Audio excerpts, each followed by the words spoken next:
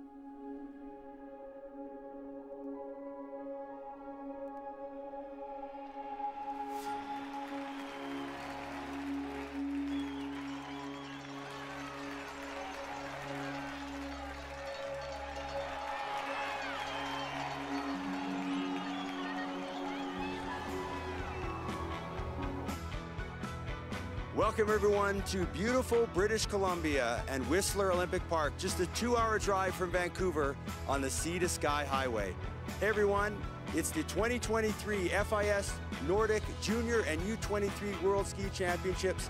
I'm Steve Scholes. I've got Tim Wintanu here. Today it's the under 23 10K individual start free technique races. We'll start off with the women.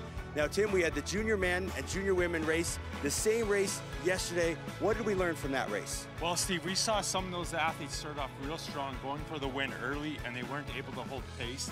Yesterday was all about pacing, uh, maintaining and pushing through the entire course. Now, what about today? What are your thoughts on today's race for the U23 men and women? Well, they were calling for some snow, and so they've mixed up the start list a little bit, and we'll see uh, if that plays a plays a role in today's results uh, and if the snow actually does come. Yeah, good point. So let's go to Tom Stephen talking to our chief of comp, Jake Weaver. Jake, with the new snow falling, I noticed that the jury has decided to change up the start order. Talk, walk me through that. Well, uh, normally uh, the athletes are seeded. That means they, uh, from past performances, they're ranked uh, from the slowest to the fastest. And in this type of interval start race, um, normally the fastest racers go at the end of the race. Um, last night we had uh, the possibility of uh, heavy snow in the forecast. And in that case, the last racers could be disadvantaged um, as the snow accumulates on the course. So we always want to have the best racers to have a fair chance of winning the race. So in that case, what we do is we uh, adjusted the order so that instead of the fastest racers going at the end, then uh, they're actually going in the middle of the race. So the, the, the, the top two thirds of the field will be going in, the, in at the beginning of the race, and then the lower ranked athletes go at the end. Thanks, Tom. Thanks, Jake. So, Tim, any additional thoughts on the start list? Well, it's not snowing right now, so we'll see if that snow actually comes. And uh, if it doesn't snow, that's going to give a little bit of advantage to those late starters because they'll be able to get splits off the entire field. Yeah, it's interesting how you're, you know, there's the weather forecast and then the, the, the organization trying to adjust for that, always with the intention of helping, you know, the best athletes have a fair race, but it's always hard to predict weather just normally, but let alone in the Callahan Valley here at Whistler Olympic Park. Yeah, that's true, Steve. You know, weather can go up and down, and we're in the mountains. Things can come in and come out pretty quick. So, so Tim, take us through the five-kilometer course that these athletes are going to ski twice. Yeah, so this is the same course we saw yesterday that the juniors skied. So when they come underneath the bridge, there's a long climb. They've extended that climb from what we saw from the classic race. You know, on skiing the course yesterday, talking to some of the athletes, they do have a long downhill coming off the top of the course there, but it's quite fast and not quite long enough to get recovery in. And as soon as they finish that long straightaway, they twist up and hit the second big climb of the day, which takes us to about the 2.8K marker where we'll get a time check. And then it's a roller coaster kind of descent back to the start area. Yeah, so this is an interval start. So these athletes one by one, and that creates a different test. You know, you know, we saw in the mass start a lot of very close races at the end because of the pack, but in this race, it's one skier at a time. But let's take a look back at the races from yesterday with the junior women. So here is Marina Kalin. She said, talking to her in the interview afterwards, that her legs were feeling really tired, and then she got this time splits. Yeah, and she she just was one of those athletes who paced it so well. You know, finishing third on the day. Um, you know, talking to her after the race, she did feel like her classic race. She felt better. We're starting to see the fatigue in the athletes, a lot of racing, but a great result for her in third place. Yeah, and here's Brusvin Jensen of Norway. She got a bronze medal last year, but this year she made it a silver in her favorite technique, skate technique, gaining on our winner. She was just six seconds back of this woman. This is MGA, Mila Grosberg Haugen Andreasen, already a world champion in the 20K mass start. And today in the individual start, she had to push on the descent. It wasn't an easy victory, but she took it by six seconds. MGA, a junior world champion. Yeah, it's so great to see her walk away with another gold medal. You know, she's been so dominant this season, and just that smile says it all right there, Steve. The trademark smile. We're going to see that, I think, a little bit more after this, but there is your podium. MGA, Brisbane Jensen, and Marina Kalin, the top three for the junior women here at Whistler Olympic Park.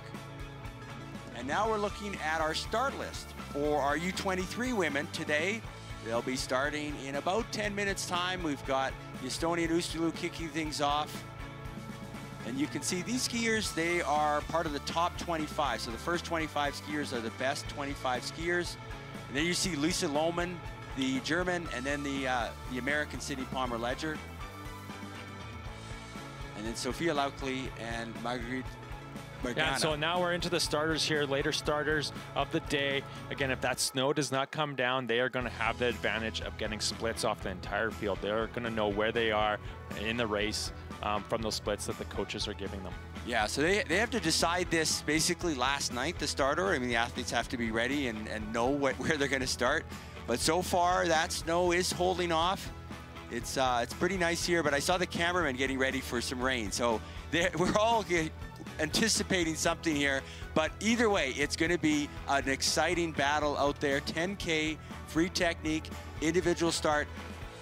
Very much the start of the 2010 Olympics, where they started with the 10K start for the individual start for the women.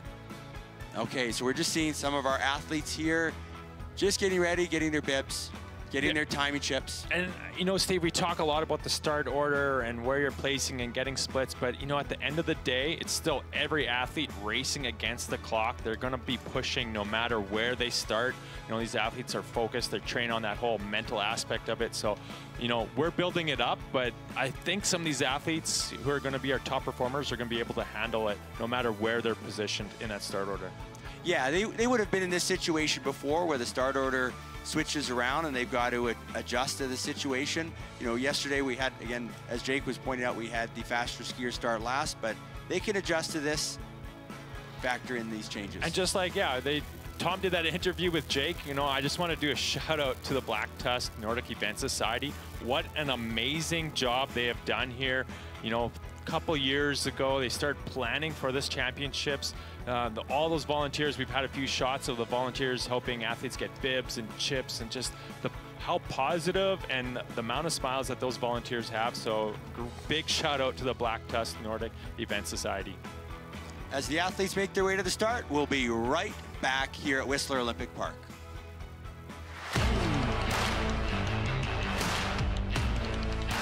Coast Outdoors is Canada's premier cross-country ski store. We're proud sponsors of this year's World U23 Cross Country Ski Championships at Whistler Olympic Park.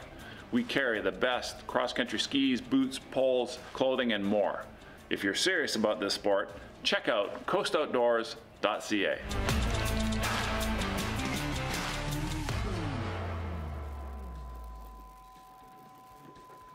Okay, we're back here at Whistler Olympic Park, waiting to see how the weather unfolds, but right now it is a beautiful day here at, in the Callahan Valley. Just a two-hour drive up from Vancouver. This is day seven of competition.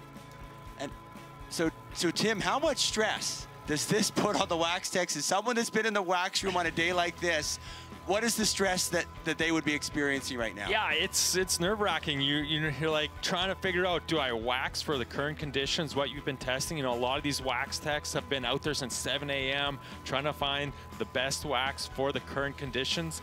Uh, so depending, do you try and make a call anticipating on past experiences and putting in a wax on for what you think's going to happen? Or do you just kind of trust the process go with what you know this is the fastest in their current state right now this is what we're putting on and if things change then let's just hope uh, we have a competitive 12. ski and you know talking about we, we put so much time and effort on the wax of things it's still the athletes out there racing and so we got to make sure that you know as a wax tech that uh, we're just making competitive skis that then the athletes can then do their job and win the race. Okay, we'll be right back.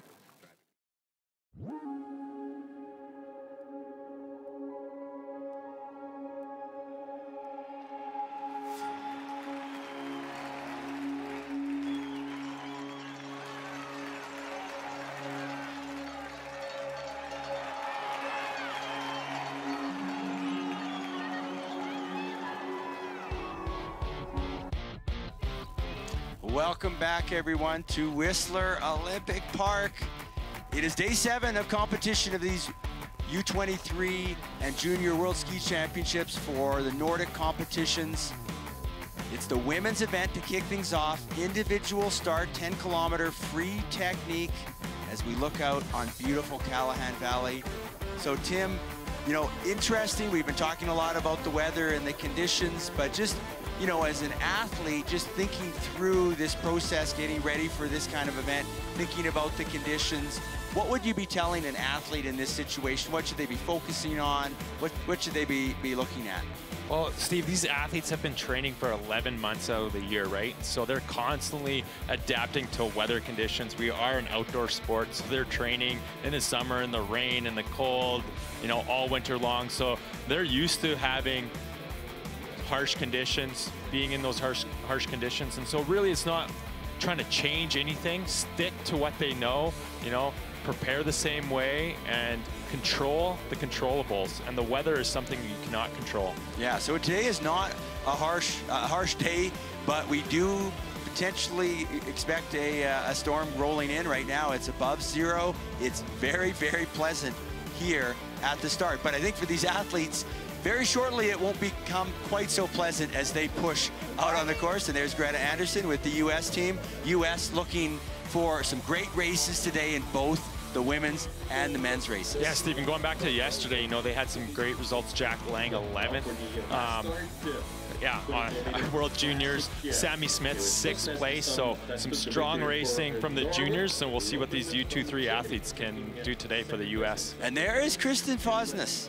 She was silver in the sprint, and she was gold in the 20K mass start. She actually took uh, took a gold in the relay championships last year for U23, which is coming up tomorrow. So things could play out a little different for her. She was real strong in that classic race, but she was able to hang on to those leaders. You know, every time she lapped through, she wasn't sure she could do it, but it's because she had someone to ski with. Today, they are skiing on their own.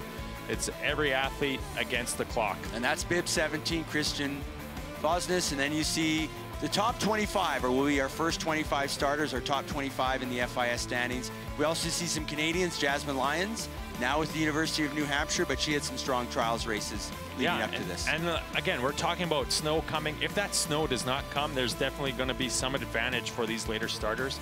They're going to know all the splits from everyone in front of them. Um, so there's that advantage to know if they need to push the pace, if they're on pace, uh, and those sorts of things. So who are some of the athletes you're looking for today? Just a few names that viewers should be watching for that we think could have some really strong results.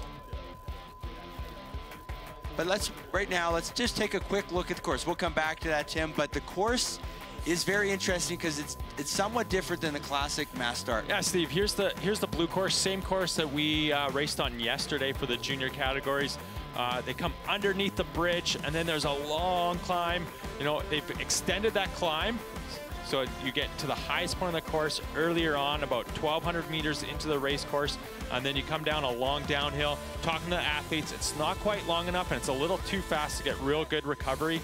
And then they start doing some twists and turns to the second biggest climb of the day, which takes us to the 2.8 checkpoint out there.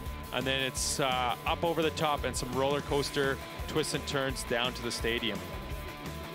Yeah, so it's definitely, we were talking to some of the Americans yesterday and they were saying, you know, it's it's hard. You don't get much rest. You go three kilometers pretty hard and then you get the descent. So Tim, again, looking at some of the top names, just highlight a few names for our viewers. Well, bib number 25, you know, Bergane, she was so strong in that classic race, pushing the pace, pushing the pace.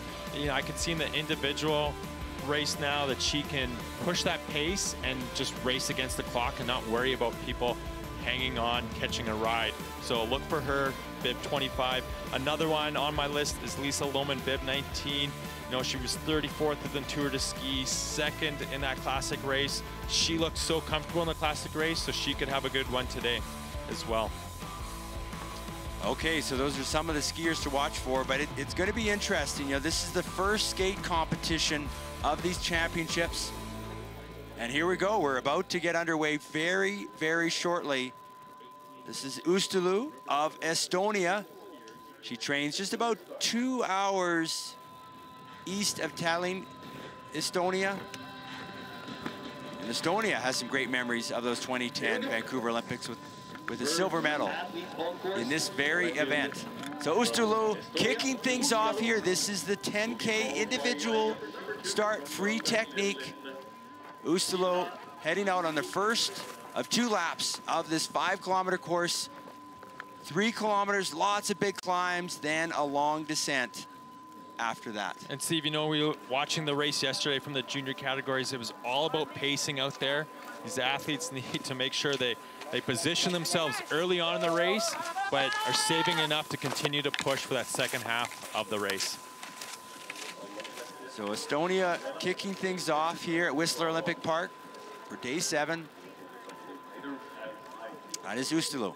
Okay, we've had, looks like Hila Niemela on course, and this is Eve Ondine Duchaufour. She actually last year in the relay, which we have tomorrow, but the relay last year, she anchored the French team to a silver medal. So very strong skater, Duchaufour. So the French team certainly motivated, you know, talking to some of the French coaches, they're very motivated by the results of the French team on the World Cup. Some great results with the French winning one of the World Cups just last week. And here from Italy, Sarah Hutter, she was fifth at the Italian National Senior Championships in the 10K skate. So this is her preferred technique. So Sarah Hutter now on course here. And our top 25 skiers by FIS rankings will be your first 25. If you're just joining us, we've been talking about the start order and just because of the weather and potentially inclement weather coming in later on, they've adjusted the start order and for the there's top 25. bib number five, Martina Di Centa. You know, her father raced here in 2010 at the Olympics. And also, her her aunt, Man Manuela Di Centa, had a long, uh, great career racing for Italy. And she was, just talking about Martina, she was 32nd at the Tour de Ski. Just, uh, just ended a few weeks ago. So uh, a World Cup skier, Martina Di Centa, heading out for 10 kilometers. So one, you know, we talk a lot about these U23 athletes being on the World Cup, skiing on the Tour de Ski.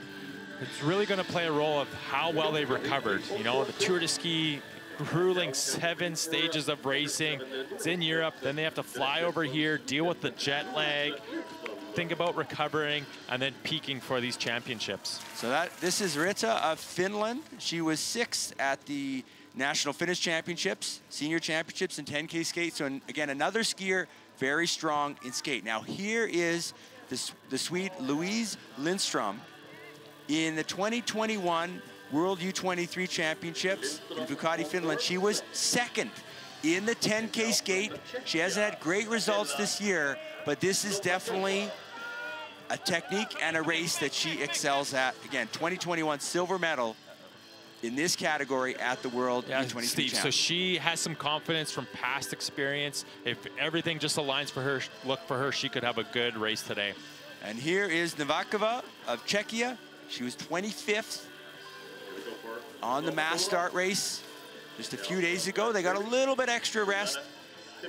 So three days ago, they had the 20K mass start. Now today, the 10K individual start, skate technique. Split climbs coming in for at 2.5, also at the So eight skiers on course. We've got 51 skiers, 18 nations here. The FIS Nordic Junior and U23 World Ski Championships. Now the German, the first German, Germana Thannheimer. She won a bronze in the World Junior Championships in the relay last year. And she's part, this is interesting, she's part of the Zoll team. And just a little bit of information, uh, that's the, uh, the German border police, effectively. That's the loose translation. But they have a, a long history of a sports team and she is part of that. And there's Bib 10 Kahara, Steve, our sprint champion from earlier this week. You know, she races on the World Cup. She's an Olympian. If she could have a solid one today. Okay, so Yasmin Kahara on course now for Finland, the sprint champion. And just a note, uh, number two, Ila Niemela was a non-starter here. So number two, Niemela not on course, but this is Kahara, sprint winner. winner. She and she dominated those sprints. Yeah, it, she definitely showed her fitness out there. She led every single heat. She was the fastest qualifier. And she did not do the classic race, the mass start. So she's well rested for this. So I think that could be a surprise here. Number 10, Kahara. We'll see how she does. This is Pierrel, first year U23. Last year she was 22nd at the World Junior Championships in the 15K skate. So another skier that per, per, prefers this technique. Yeah, Stephen, some of those athletes are going to pick and choose their races where they're stronger at and try and save as much energy um, in, in a championship week like this to have best results. So one reason why Kahara did not race that classic mass start.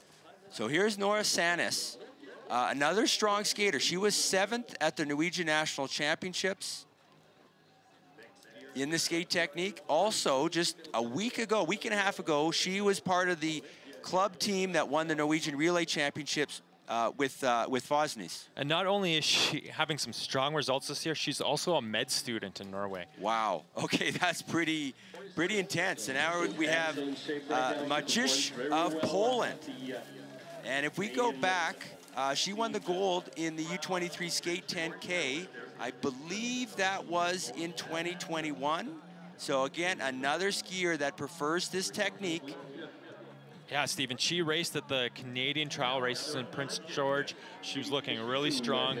Um, yeah, so if everything, again, lines up for her, she could have a really strong result, podium place.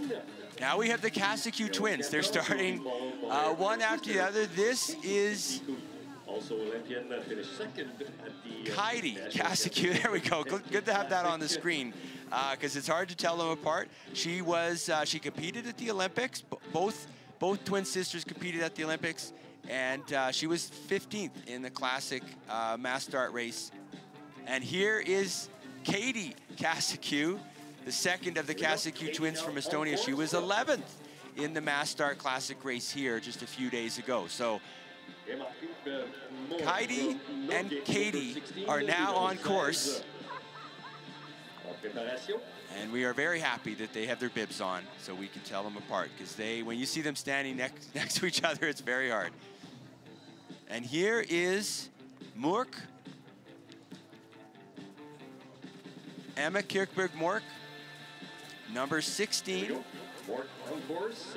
Strong distance skier from Drammen area. You know, they have always those Drammen city sprints in Norway. So I'm sure as when she was young, she was sitting on the sidelines watching those races, inspiring her to be racing here today. And actually, uh, her brother is racing in the for the U23 men. Okay, here's Fosnes, a gold and a silver so far, these championships. Someone to watch for. Is she tired from that race? But as Tim mentioned earlier, when she won gold, that was mass start, she hung on to Bergane, and she said she needed some superpowers to somehow hang on. Yeah, So this is a different race. And maybe she's got those superpowers today. Definitely a start like that. She looked real strong. And here we go. Bib number 18, Sydney Palmer Ledger. Talking to her, she she mountain bike raced when she was younger, and she actually raced here in Whistler uh, a bunch of years ago. So she she knows the Whistler area both in the summer and the winter now. Strong result, eighth in that mass start. You know, she got selected to go to the Tour de Ski earlier this year with the Americans. She turned it down. She wanted to focus on these championships, peak for them. So she in that classic race, she looked ready to perform here.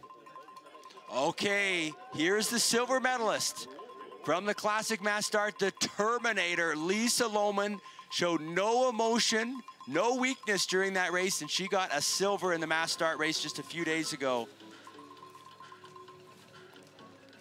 Definitely someone to watch here. She actually in the junior, um, yeah, second in the classic race, and she was 34th in the Tour de Ski just uh, a few weeks ago.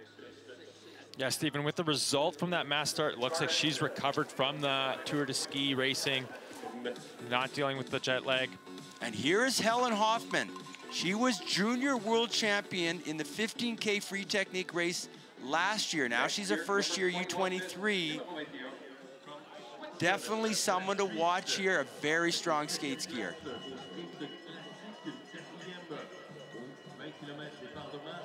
Yeah, Stephen, she was World Junior Champion last year. Sometimes it's a big step moving up into this U23 category. So we'll look at those time splits throughout the day to see where she ranks up against the U23 athletes.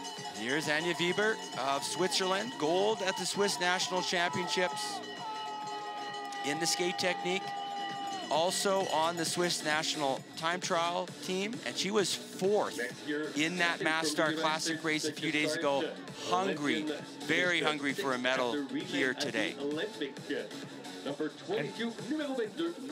Here's Novi McCabe, Olympian. She got a great result in the uh, 30K skate at the Olympics, 18th at the Olympics in Beijing last year. She was 14th in the mass start. She's also an NCAA champion in the classic technique. From last year, she skis for University of Utah amongst all the other races that she does. And Steve, I'm just looking at the first time split at 2.8 kilometers. We got some of our first athletes coming through there, and it's Martina Di Centa sitting in first place. Actually, just Louise Lindstrom came through, and they're actually tied. Um, so here's Nadia Kalin. Her sister won a bronze yesterday. Definitely going to be inspired by that. She had a very strong result in the classic mass start race. Nadja Kalin on course here. And here is number 24, Sophia Laukli. Yeah, Sophia Laukli, she came off that final stage of the Tour de Ski, the big climb, third in that race. You know, podium on the World Cup, definitely showing how strong of a skater she is. If she's fully recovered, she's definitely one of my favorites today to be on the podium. Yeah, and she's also with the University of Utah. She was an NCAA champion last year in the 10, 10K skate, I believe, or the mass start skate. So very strong skate skier. And we talked to her. She was definitely, she was feeling some illness after the Tour de Ski. And now we've got Bergane, third place in the classic mass start race. She led for 19K, but she wasn't able to drop two skiers, and she ended up bronze medal, eighth on the final climb in the Tour de Ski. Yeah, Stephen, she was just so strong in that classic race, constantly pushing the pace, you know, and just two other skiers were able to get some superpowers and hang on to her. So today, when she's racing out there by herself, look for her to be pushing that pace and leading those time splits. Here is Moa Hansson from Sweden. She was the world champion last year in the skate sprint for U23. Talking to her yesterday, she said she had COVID, a really bad situation with COVID in the fall, and she's been gradually recovering. She hasn't had very much racing, but she still got fourth in the classic sprint. So someone to watch for here so Moa Hansson of Sweden now on course, our 26 starter. So our top 25 have started. And here we have Norris Sanness. Oh, and look at this. Marcisz. I think she's gaining. These are 30 second interval starts. So Marcisz coming up this climb. Yeah, Stephen. So even though there's 30 second starts between these athletes, you know, there's some of these long climbs and they can start to see if they're gaining time on the person in front of them. And that starts to put into perspective how their pacing's going, where they're ranking in that race. And so, yeah, Isabel, bib number 13 there, sitting in first place at 2.8K. So Marcisz, won gold in the World 23 10K skate a couple years ago, looking strong so far. And we've had 13 skiers come through that checkpoint. So we're gonna see our top FIS rank, 25 ranked skiers through that time check. And there's Lillian Gagnon starting off, you know, definitely strong race in that classic race for Canadian, 12th place. Um, yeah, she was on the World Cup this year. She's an up-and-comer first year in the U23 category, so look for her in the next couple years out on the Canadian race scene. And here is Moa Hansson, the Swede, gold medal last year at the World U23 Championships, but recovering from COVID. And she, I was talking to her yesterday, and she is just happy. She loves being here at Whistler Olympic Park. She, I said, you know, there might be a snowfall, there might be rain. She said, it, it doesn't matter. It'll still be beautiful here at Whistler Olympic Park. So great, great talking to Moa. Yeah, and just building on that, you know, talking with one of the TDs too, a lot of these European countries are, are not having a good snow year. And so for these Europeans to be racing here at Whistler in this natural snow, it's just, it's amazing. And here is Murk of Norway, our 16th starter. Again, the top 25 FIS ranked skiers are our first 25 starters. She's coming up to that time check shortly. And she's moved into third place there, Steve. Okay, so now Fosnis, our gold medalist from the Classic Mass Start race. She's getting close to that time check. Our 17th starter. Marcisz holding the top spot right now.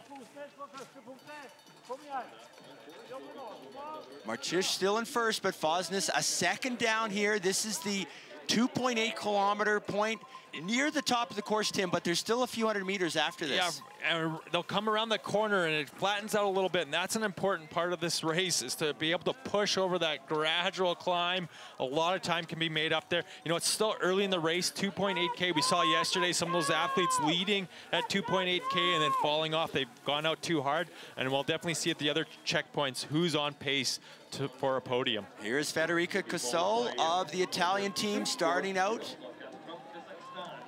Two laps of five kilometers, 10K individual start race here at Whistler Olympic Park. U23 women. Our men coming after this. And here is the Terminator. Lisa Lohmann, second in the mass start race, still not showing any emotion. Coming up to this checkpoint.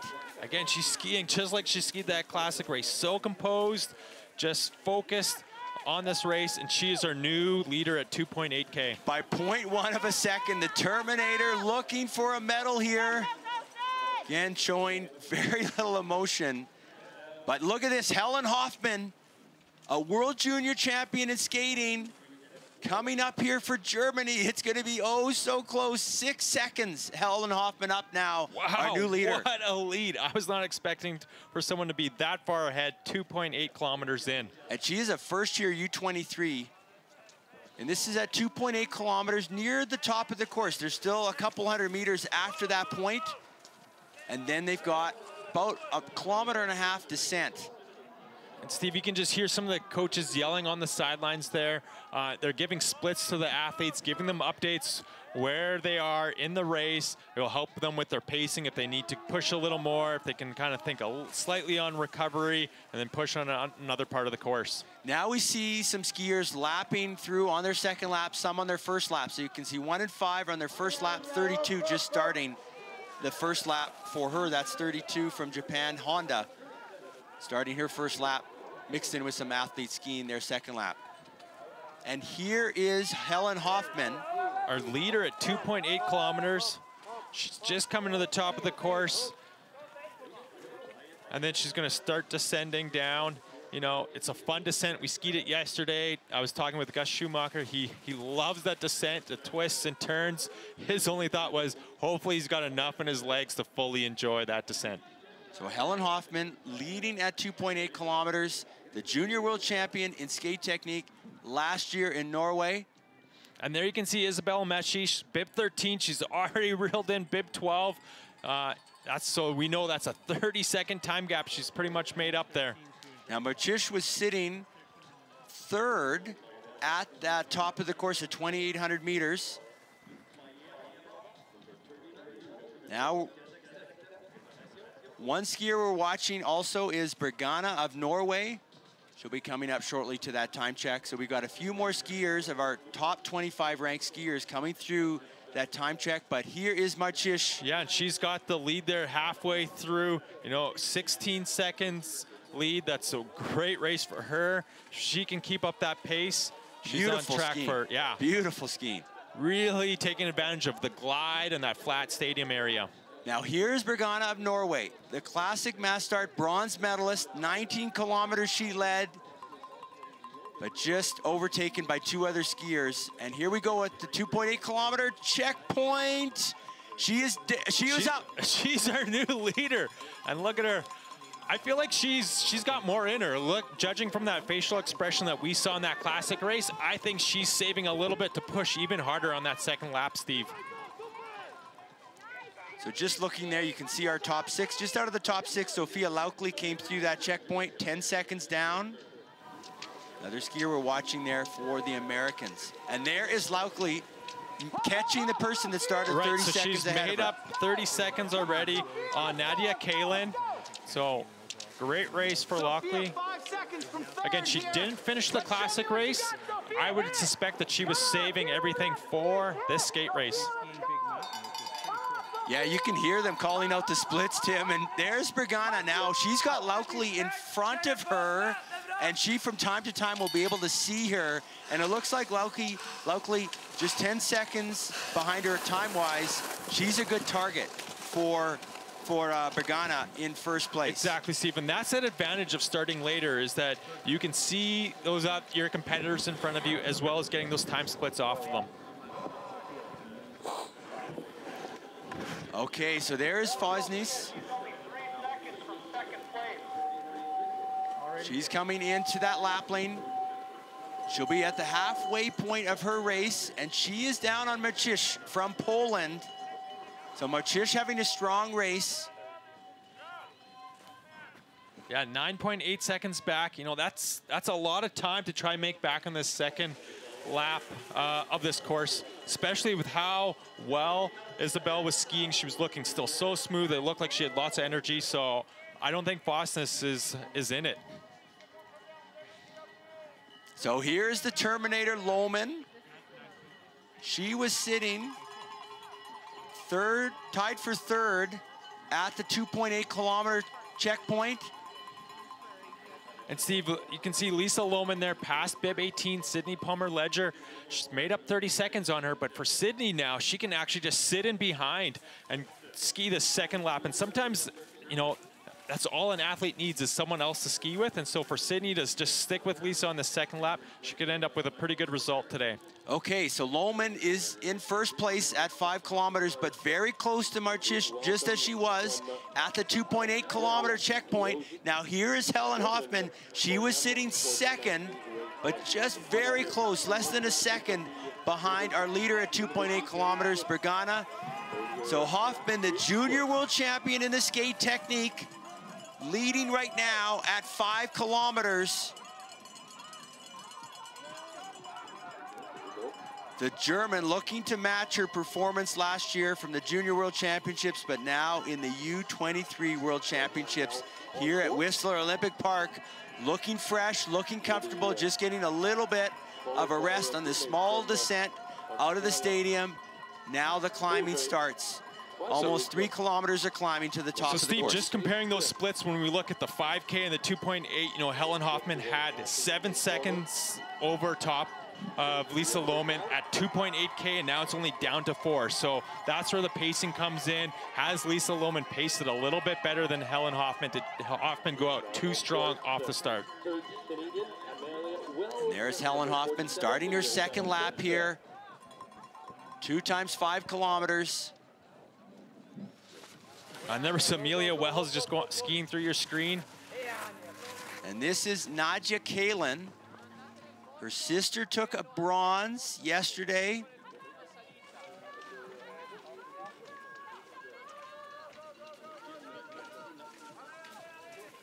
And we've got a couple skiers coming on their second lap to the top of the course, the top of the second climb. Yeah, I believe that skier just coming into the screen there, middle of the screen there is Di Centa, who is currently sitting in first place at 7.8 kilometers. And there's a BC resident, Marielle Ackerman from Kimberley, BC, just about to start. Again, their time starts when the athlete breaks that wand. And Marielle with University of Verm- Vermont also. And here is Laukli.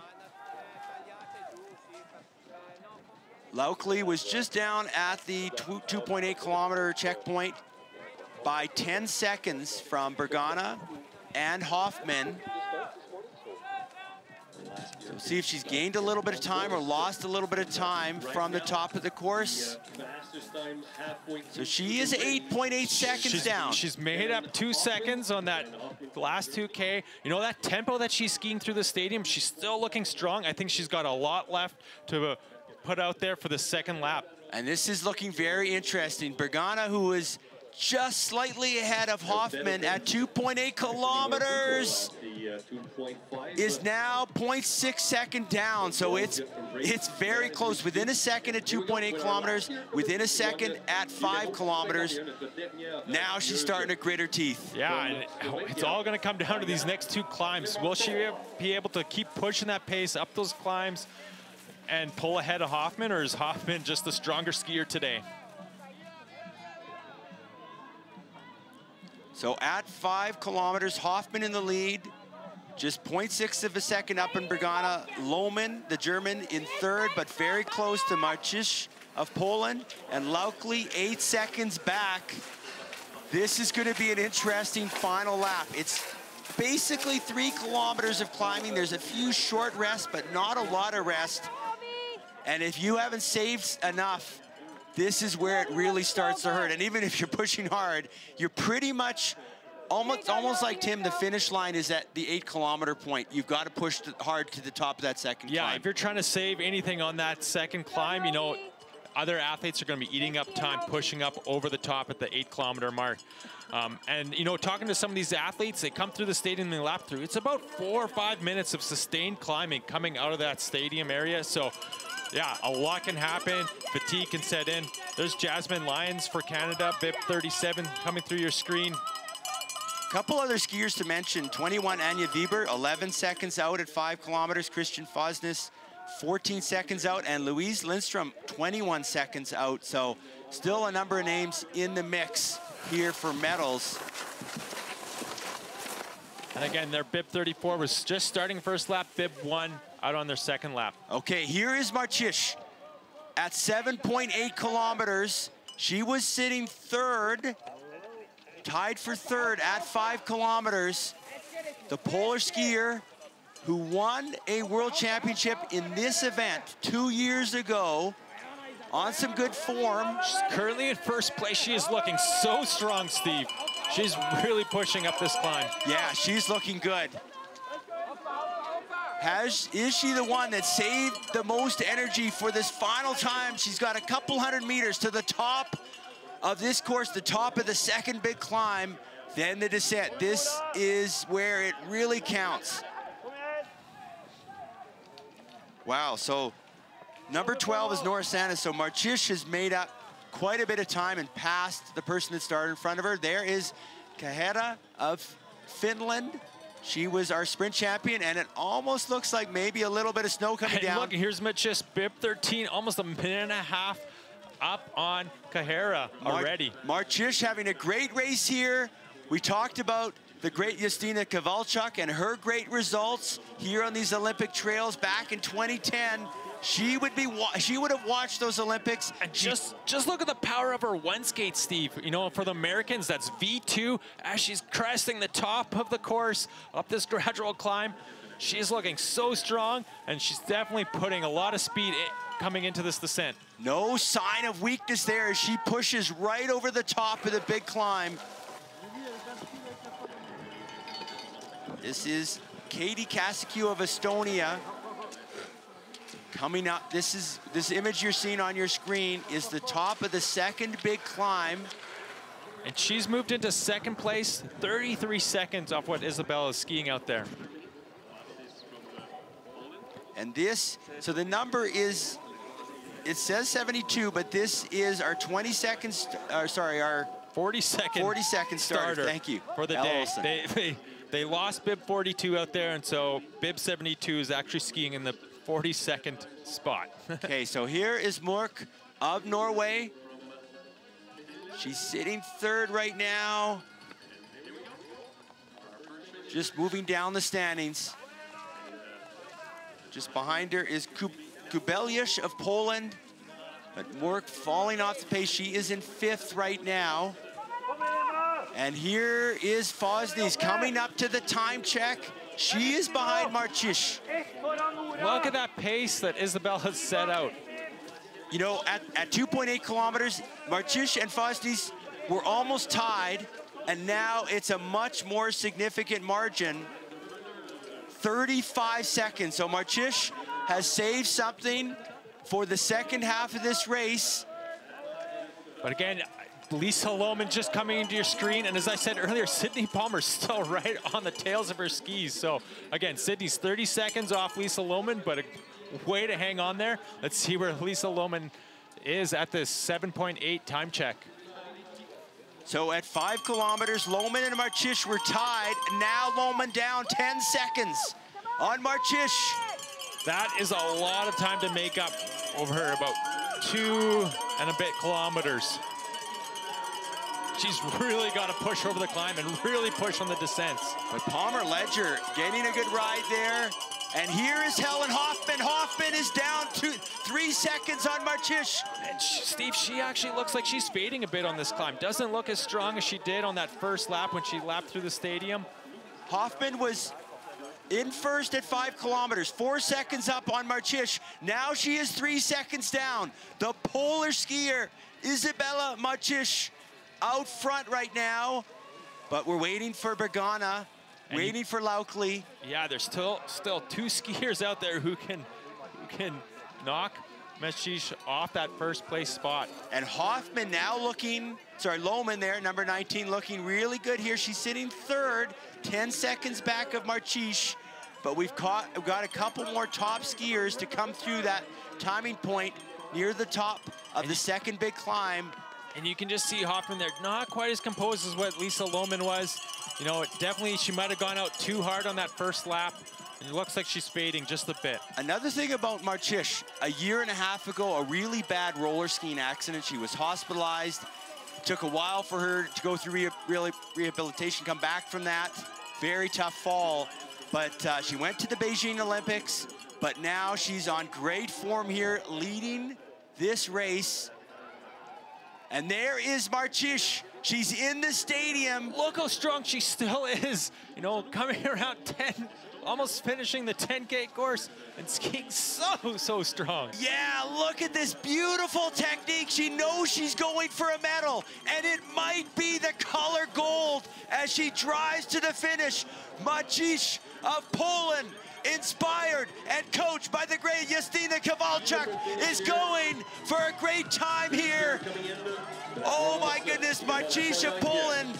We still have more skiers to come through, but this might be a gold medal performance. That is going to be the time to beat Steve. She's going to move into that hot seat position, and we'll see if she stays in, stays there.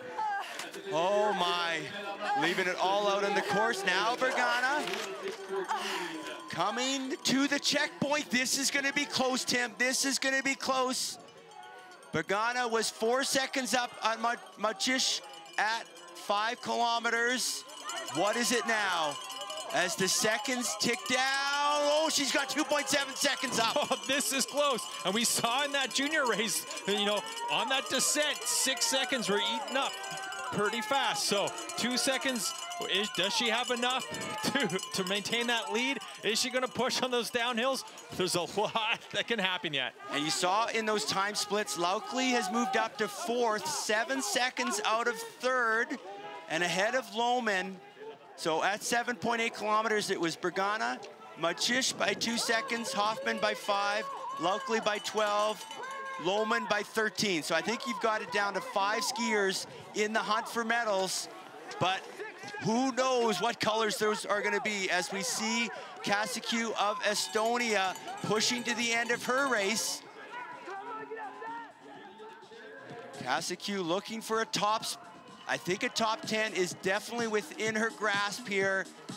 Number 14 here at the Again, if you're just joining us, the top 25 skiers by FIS ranking were our first 25 starters. Estonia. Kaasiku And now it's uh, going to come in in second spot right now so far.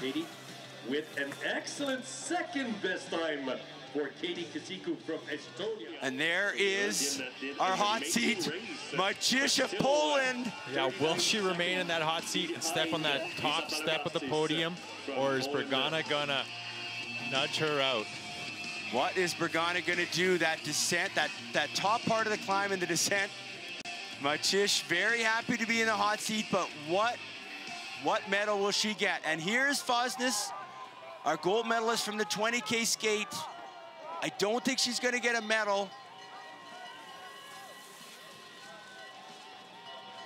So Fosnis, gold in the 20K mass start, silver in the sprint. Looking for about a top 10 position here today.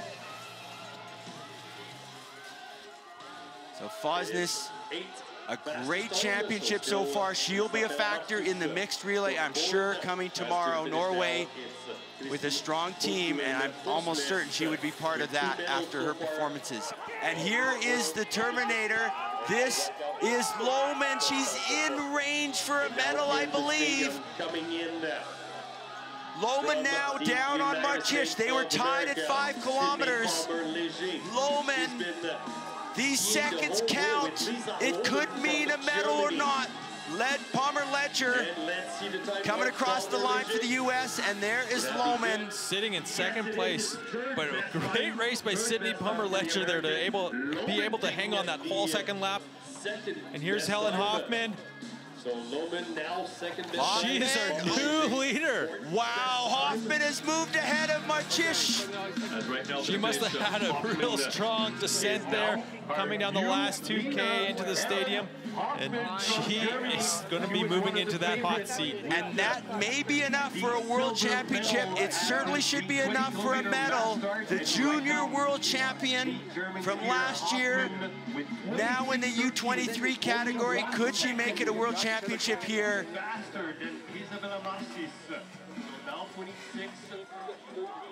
This is Nadja, sorry, Anja Weber coming in for Switzerland. So just And Steve, just looking back at the splits, you know, Helen Hoffmann was three seconds down on Is Isabella at the 7.8K mark, and then she comes out ahead uh, of Isabella by a second. So she definitely made up time on the last couple kilometers. You know, again, coaches are out on the course, yelling splits, yelling words of encouragement, really pushing those athletes on. And that's the benefit of just being a, a little bit later starter than Marchi. She's getting those time splits, and that may have been all the difference in the world, literally, as Helen Hoffmann of Germany gets comfortable in the hot seat. But Bergane, our 25th starter, could perhaps unseat her Yeah, Steve, it's really only Sophia Laukli, who was seven seconds off, 7.8 kilometers, or Bergane that could bump her off that hot seat. And I think it could be very close as Bergane descends into the stadium. How she tackles this final 300 meters could decide whether she is a world champion or a silver medalist. That's going to be really, really close, Tim. 30 seconds through the stadium. Oh my goodness, Bergane. 28 seconds. It's going to be super close. When we see them come around this corner, it's about 15 seconds to the finish. Bergane of Norway. This is for a potential world championship. We've got more starters to finish. The seconds counting down. Bergane, three, two, one. It's not quite enough. Hoffmann is going to be your likely top finisher. Bergane in that silver medal position. Lohmann Bergane in in third. Bergane moved to third. And it's Isabel Marcisz who's in the silver medal position there, Steve. Oh my goodness. Oh my goodness. So goodness. she lost time on the last two kilometers of that course. She looks tired. Wow, that is what individual racing is all about. People moving up, down, all around out there, fighting for those spots. completely exhausted. Now, we have more starters to finish, but we had our top 25 from Germany. Current start first. Hoffmann, junior world champion last year in euh, skate, and looking Norvège faire euh, son at a arrivée. U23 euh, World Championship euh, Bergane qui avait été la plus rapide aux here at Whistler Olympic Park as. Helen euh, Hoffmann gets the hugs from the coaches. Steve, just how she looked on that last climb, I didn't think she had enough in her to pull off the win, but she did. Bergane happy to take a medal. There's Sophia Laukli right in the mix. Yeah, fifth place for Laukli. And again, These are all unofficial placing. There's still more racers out there. Nice job. There's Novi McCabe, one of the Americans, It was hard. Yeah. congratulating Bergane on a medal. Helen Hoffmann, 24 this is interesting. Helen Hoffmann, her birthday is February 7th.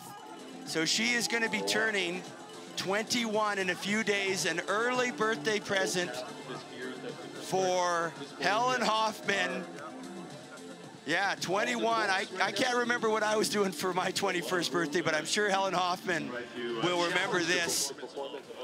There we've got Moa Hansson coming in, the world U23 champion in skate last year in the in the sprint. Weather expected and also the snow condition. Recovering from COVID. For uh, some of the faster skier to Happy to be racing at Whistler Olympic Park. Can you see the sun has come out? The weather didn't deteriorate yet as we may have expected. Many of the good skiers started uh, in the middle of the pack, so among them, well, we had Hoffmann, uh, McCabe, uh, So there's Hoffmann in the leader's chair, and she's going to be there for a while. We've got many more finishers also from Northgate and to come in, but the top 25 FIS ranked skiers started early because there was concern about rain or snow or heavy snow coming in. But look at that blue sky in the background there, Steve. So I don't know if the snow is going to be a factor even in the men's race later today. And there is Marcisz of Poland.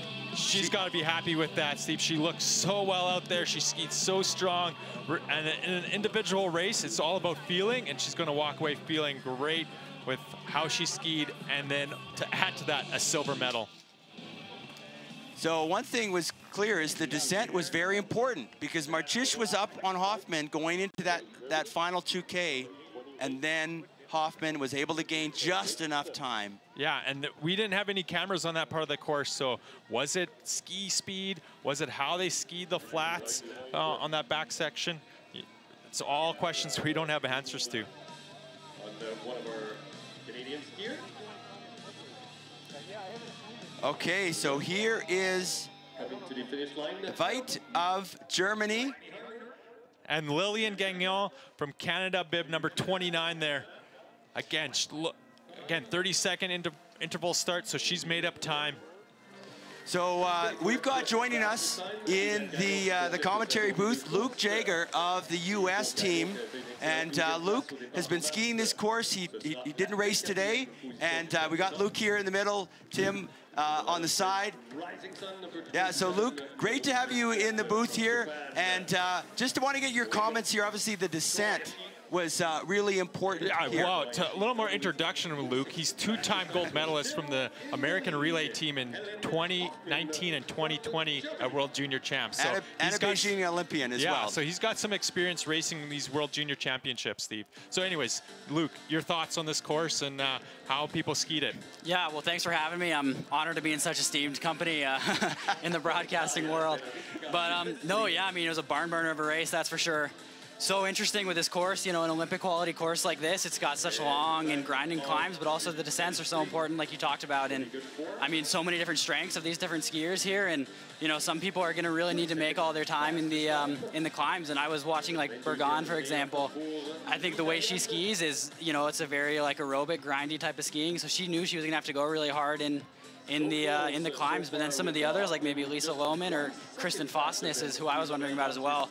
I think have a little more of that kind of like sprint physiology and can really maybe have to hold back a little more in the climbs and are going to have to make more of their uh, time in the transitions and and in the, the descents. So. Yeah, I mean, you know, we saw it's so easy if you kind of blow all your matches on the climbs to just, um, you know, lose time and move a little bit backwards on the downhill. So it's really a fine line, and it really kind of depends where your strengths lie. Now, when you're in a race like this and you get splits where they're saying, hey, you're one second down or you're one second up, like, and you're right at your absolute maximum, what are you trying to process? What are you thinking about? Like, what, you know, how would uh, Hoffmann be thinking when she's told, hey, you're a couple seconds down on Marcisz going into that descent? What's going through an athlete's mind in that situation? Yeah, I mean, it's a good question. You know, it depends a lot on sort of um, what's unfolding in your mind uh, before getting that split because you have a pretty good sense of how close you are to your limit a lot of the time. And, um, you know, for myself personally, it's like, one second can feel um, like a lot longer than one second sometimes if that's how far you are because you have a pretty good sense for how your trajectory is and um, you know these are all such you know high level athletes that are so good at um, the nuances of pacing and balancing their effort that um, you know I think some of them probably would get a split like that and know that that's something they can make up but it really kind of depends on uh, the story that's happening within your muscles and the lactic acid. Okay, so here's bib number 37, Jasmine Lyons. What a great race for the Canadian. Yeah, Coming she's in. looking at a top 15, I think, for Jasmine Lyons. It's going to Yeah. be close as she drives to the finish. The University of New Hampshire athlete. So, Luke, question for you here.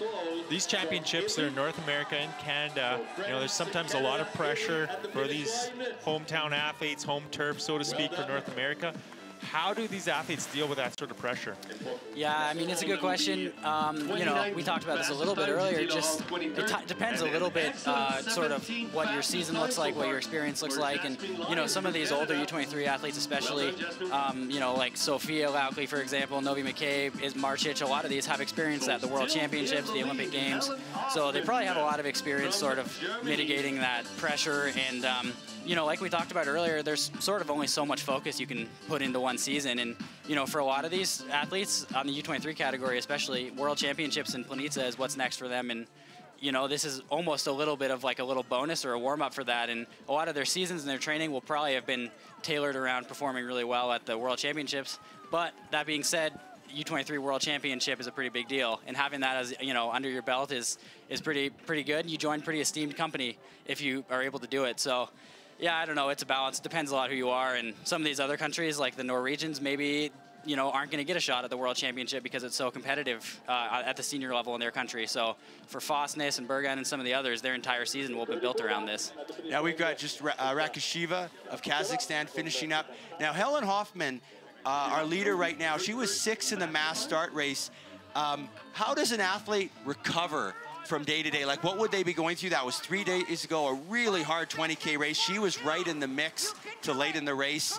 How, how does someone like yourself recover from say a 20K race and then going to a 10K race? What would, what would the process be? Yeah, definitely. I mean, you know, most of these teams will have physios here, and I'm sure they'll be utilizing that a lot. And the most important thing is just making sure you're eating a lot immediately after the race, getting good fuel. But sort of the reality is, when you're in good shape, there's not a lot you can do to derail that. So, you know, these athletes um, who are skiing well all week that you see, they have that mental boost of knowing they're doing well, and just their body's in a really good place, and they're fit, and you know they're going to do everything they can to support that. But it's pretty hard to uh, hard to mess that up if you're in good shape. Yeah, and, and Marcisz obviously in good shape from her great results earlier this month, and Hoffmann as well having some great results coming into this. As we see Reidner from Liechtenstein finish up. So that was 29th place for the Liechtenstein athlete. And here is Kini Bayeva of Kazakhstan coming to the finish. A large team from Kazakhstan here competing. And talking about teams, Actually, 29 fastest talking about teams, we've got the relay coming up tomorrow. Uh, so that's going to be interesting. Yeah, what are your. What are your quick thoughts on, on that? Well, I don't know. I mean, you know, the first time we're seeing a uh, mixed gender relay at, at both levels here, so that'll be exciting. Um, also exciting is that it's going to be a 5K because that's such a unique distance in skiing, and it sort of is like rides the line between a sprint and a distance race. So who they're going to pick for their teams is going to be really tricky, and um, yeah, it's you know sort of a game of poker. You don't really want to show all your cards, and you got to decide who you're going to put where. That's really, really well said there, Luke. And also, it is a 5K for tomorrow, but it's two laps of 2.5. Each of those athletes will be skiing. Um, you know, they've taken out some of the big climbs, so they're going to make it for a more interesting race. And here we've got Kate Oldham finishing up for the American team. She was 15th in the skate sprint last year in the World Junior Championships, first year U23 from Aspen. And she was saying that we were talking to her and she was saying she really enjoys the broadcast. So great. So a shout out to Kate Oldham as she finishes up. Looks like she's going to be about 34th spot here for the Aspen athlete. That is Kate Oldham, Oldham of uh, the U.S. team. 34 So we all- fastest Luke, time. we often see at the start of the race, you know, athletes warming up, moving around. Can you just take us through a little bit of warm-up, what they're actually going through, what they're actually doing leading up to the start of the race? Yeah, definitely. I mean, it's going to depend a lot on you know on what the race and what the race is. And for something like a sprint qualifier, you're going to need to be a little more warmed up than something like the 20k. But um, it's really just kind of moving your body through all the different levels of of the effort and getting your muscles ready for you know what's going to be a pretty big uh, ask of them. And um, you know at this point in the week, honestly, you, have gone so hard and you've had so much intensity that maybe you don't need that much warm up. And you know you get to the venue and you test your skis and it almost feels like you're ready to go. So it's going to depend a little bit on uh, who it is and how many races they've done. But yeah, most people will move through all the levels of uh, intensity and then head out on course. Now this is Rosie Fordham of the Australian team with looks like a very strong race. Could she get in the top 30? That would be a highlight for the Australian team. If Rosie can make it into the top 30, she caught the two people that started in front of her. So the Australian coming in with a very strong race here. They train a lot at Falls Creek, just in the Australian Alps. They had great snowfall there this year, and that has paid off, it looks like, with a potential top 30 for Rosie Fordham of Australia. the finish line, number 43 as well from Poland. And that is Gub uh, of Poland just coming in. And, there is our leader right now in the hot seat, Helen Hoffmann, first year U23, four days shy of her 21st birthday as Steve, Amelia Wells comes in. Amelia Wells, yeah, Bib 47 from Canada. She is a BC resident as well. Grew up skiing with Stra- Strathcona Nordics on Vancouver Island and currently training with the Alberta World Cup Academy in Canmore. And Steve, just looking back results uh, or the timing check at 7.8 kilometers, I don't think there's anyone coming that's going to knock Helen Hoffmann off that hot seat. Canada, Duke Canada, Amelia, Amelia Wells. So Amelia Wells Canada. In her home province, competing at the World U23 Championships, from uh, Australia. coming in at And the time 31st right now. We've got, I think, about another five or six finishers. There's Wells. 31st. uh, What a great race for her at her first U23 champs. I think you said she's from Strathcona Nordic Yeah, on that's correct. Vancouver Island. Yeah. Wow. What, what an effort by these athletes.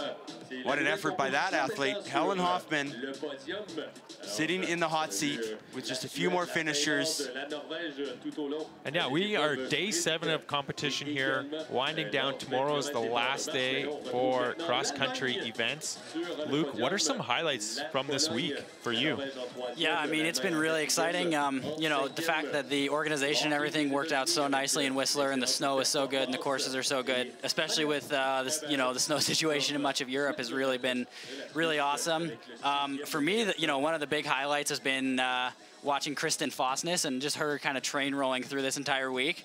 Um, I, you know, that was kind of a big question for me is, is you know, what, how is she going to do today? Because it was such a different event and there's been so classic heavy. And um, yeah, I mean, that's been pretty impressive. And then just, it, honestly, just the level of competition in every one of these races from the junior to the U23s has been so good. And we've been treated to so many close finishes and tight and exciting races. So I don't know, it's really for me been everything you could ask for from a Nordic championship.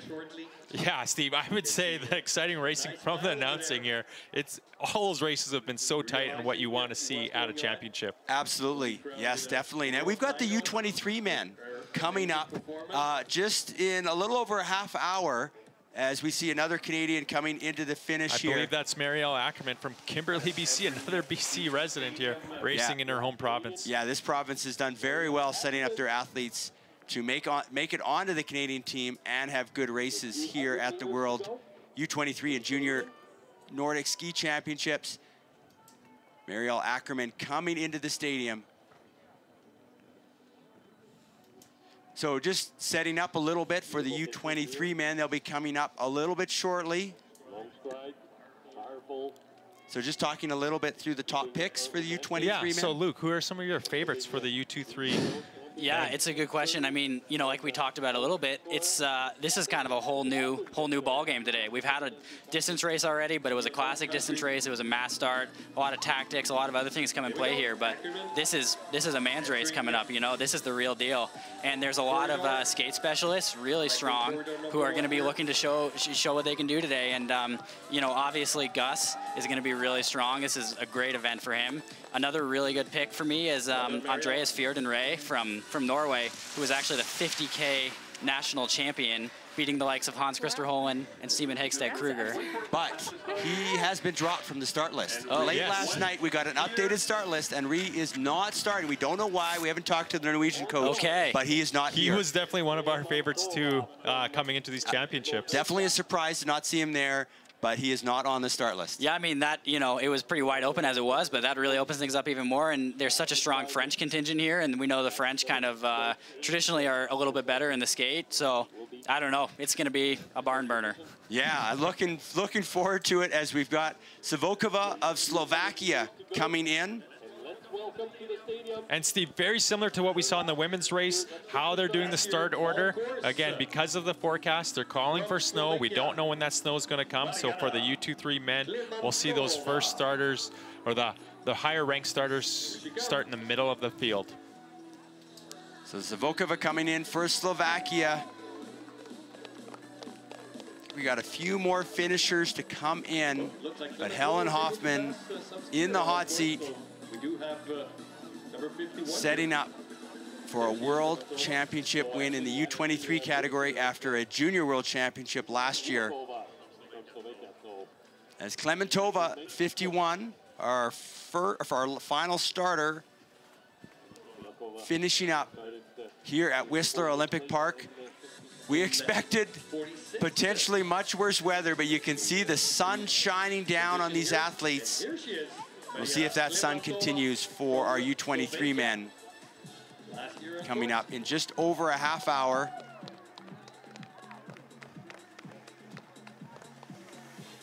And here we go. She took place halfway into the race, into the leader chair, and will be crowned world champion from Germany. So Hoffmann in the hot seat. They got the little fire going in front. The German team very happy here. Yeah, Steve, the- I, I believe there's one more racer out on course, so I think we can almost officially say there is our World 2-3 champ. Wow. Junior world champ and now a U23 world champ four days before her 21st birthday.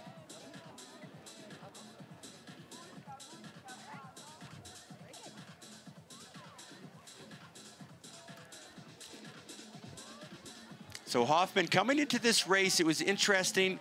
She had some strong OPA Cup results on the classic side and the sprint. But in Austria in December, she did win a gold in the 10K skate. And there we go. There is your podium. Hoffmann in the middle for Germany. Marcisz of Poland in second place. And Bergane of Norway in third place. And there we get the celebration. This is setting up interestingly for the uh, U23 relay with the great results from Poland and Germany. It's going to be an interesting battle tomorrow in the relays. But there's your podium for U23 women 10K individual start free technique. And there we get the selfie. Marcisz wanting to get this. Yeah, all three of those women have to be super happy with those results. Uh, it's anyone's race out there in an individual. And uh, yeah, as you can see the results, just how close that was. You know, at 7.8 cl- 7.8 kilometers, Bergane was leading, uh, and she lost some time on that descent and ended up third. Yeah, it's amazing just in that last 2.2 kilometers how the order flipped around for the top three. And some of the other Canadians, Lillian Gagnon on 27th place. Rosie Fordham from Australia, top 30 finish. Amelia Wells had her first U23 champs, 31st. Great race for her. Kate Oldham from Aspen in 40th place. Marielle Ackerman from Kimberley, BC in 44th. And she's currently going to the University of Vermont in the States, Steve. That's correct. Yeah, so the weather did not become a factor uh, today in the U23 women's race. The U23 men coming up in, again, in about 30 minutes or so here at Whistler Olympic Park. So maybe uh, just turning back to, uh, to Luke here in the booth. Uh, any more thoughts on the U23 women as far as surprises, anything you might learn from this that the, the U23 men might learn from this? Any thoughts here uh, on this race, having seen how this uh, unfolded? Yeah, definitely. I mean, you know, I think the men will be looking at that and, and seeing uh, a lot. A lot of movement can happen late in the race, and you know, a lot can change. So, pacing and dialing your pacing is going to be really important uh, for all the men. And you know, like we talked about a little bit, you have to be a little bit honest with yourself and know where your strengths are and where your weaknesses are going to lie, and kind of factor that into your race plan and and say, you know, I maybe I need to start a little bit slower because um, you know I know that the lactate's going to come for me earlier than it will for others, and you're going to have to use some of that free speed in the downhills and in the transitions really well. And then some of the other kind of workhorses are maybe going to be pretty happy about the way that things unfolded there and be like, all right, looks like if you know if you want to go from the begun, you can do it. So I don't know. I mean, that's what's so nice about courses like this that are designed so well and you know at such a high quality venue is anything can happen really. Yeah, so that's some great, great, interesting information from Luke, and we're just going to uh, wrap up things here and let's look at some highlights. So there are the medals that these athletes are going for. Bergane. Yeah, definitely one of the favorites today. Then Marcisz. Marcisz started to come on strong in oh, that second lap. that course so well. There is Hoffmann. Hoffmann going for a World U23 Championship four days before her birthday, and Hoffmann atop the world in Whistler.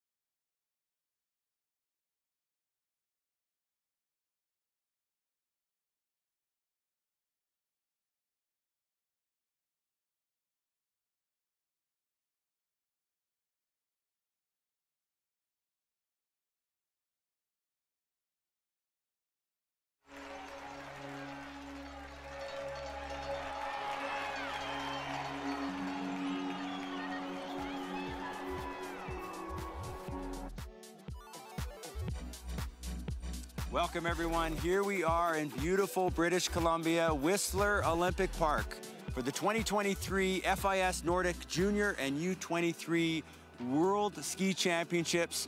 We just saw the U23 women do the individual star 10K, and I'm Steve Scholes. I've got Tim Montano here. Wasn't that an incredible battle that we just saw? Steve, that was an awesome race. We saw it come down to the final two kilometers. You know, the podium spots switch spots there. and It was four seconds separating the top three women. Yeah, four seconds, so close that it was all changing in those final couple kilometers. So now for a little bit more on the start order and the weather here and the U23 men's race, we're gonna go to Tom. Hey, thanks, guys. As we talked about earlier in the day, the start order did get changed with the anticipation of precipitation, but it actually turned out to be a really awesome day and it hasn't snowed at all and it doesn't look like it's going to. But the men's race start order did get changed as well, so the fastest men will be starting in the middle of the pack. As we saw in the women's, that led to a really awesome race with some really fast skiers dueling it out for, in the middle of the race. So I think the same thing will happen with the men, obviously, because they're starting in the middle of the race. So it should be super exciting to watch. That was some great commentary by Tom. This is so interesting how the start order is shifted because of the anticipated weather as it was last night.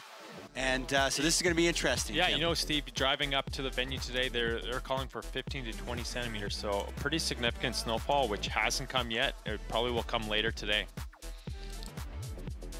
Yeah, so we've got some highlights from yesterday's junior men's individual start race that was also very exciting.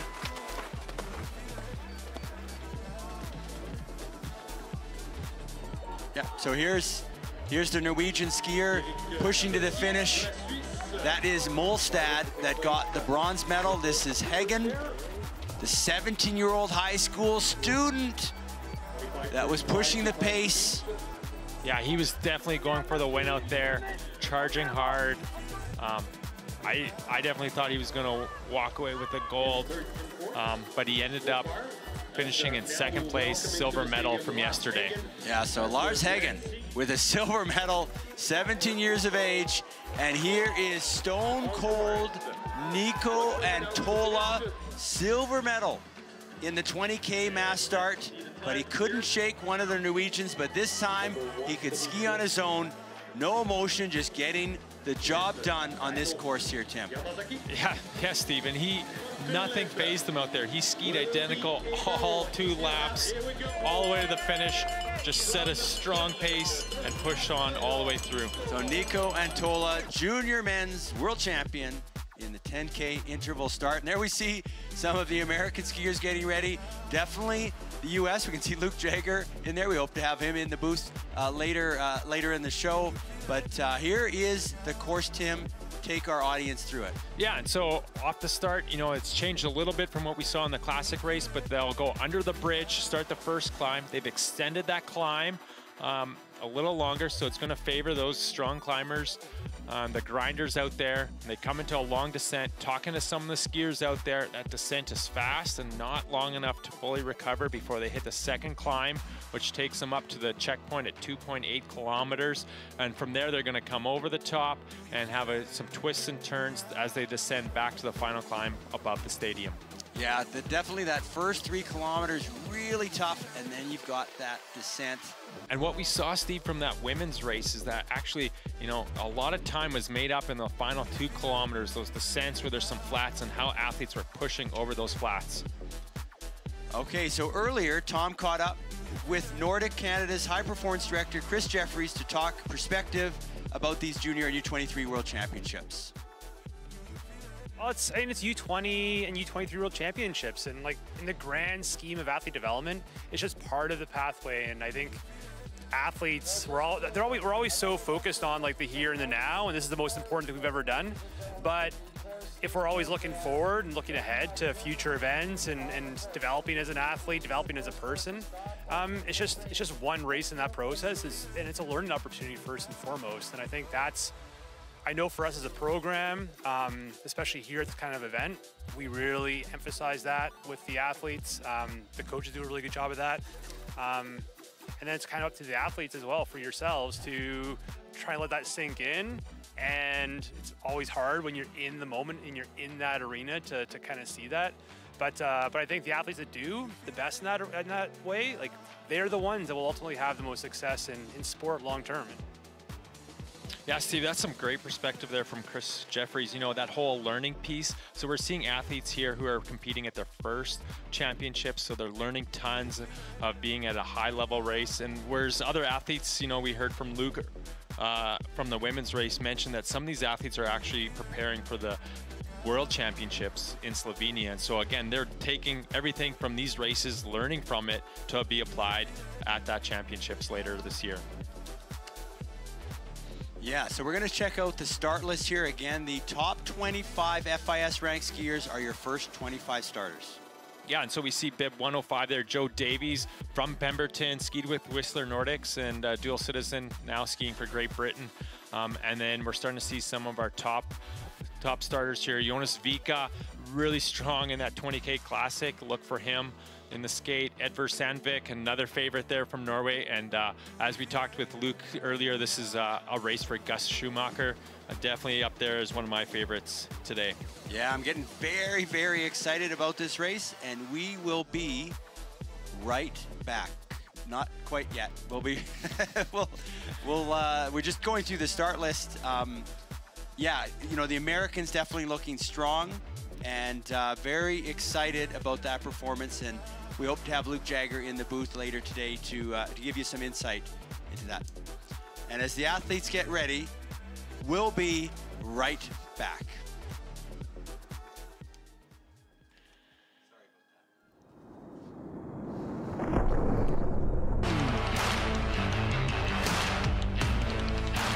Coast Outdoors is Canada's premier cross-country ski store. We're proud sponsors of this year's World U23 Cross Country Ski Championships at Whistler Olympic Park. We carry the best cross-country skis, boots, poles, clothing, and more. If you're serious about this sport, check out coastoutdoors.ca.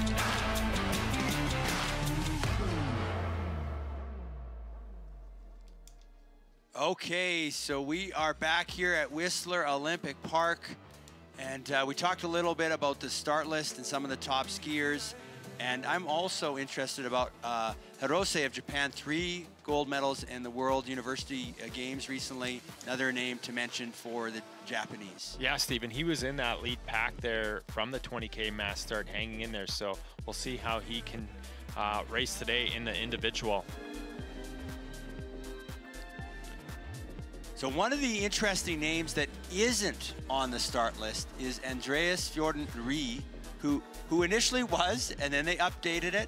And Ree is definitely, uh, as Luke Jager in our earlier show noted, that he was definitely a favorite today. Not sure why he was taken out of the start list, but he's not here, and that really opens things up yeah, for the U23 I had men. him as one of my favorites too, and so we're not sure why he's not on this start list. Yeah, I'm, I am super excited to see how this event shakes out here at Whistler Olympic Park. The athletes are getting ready.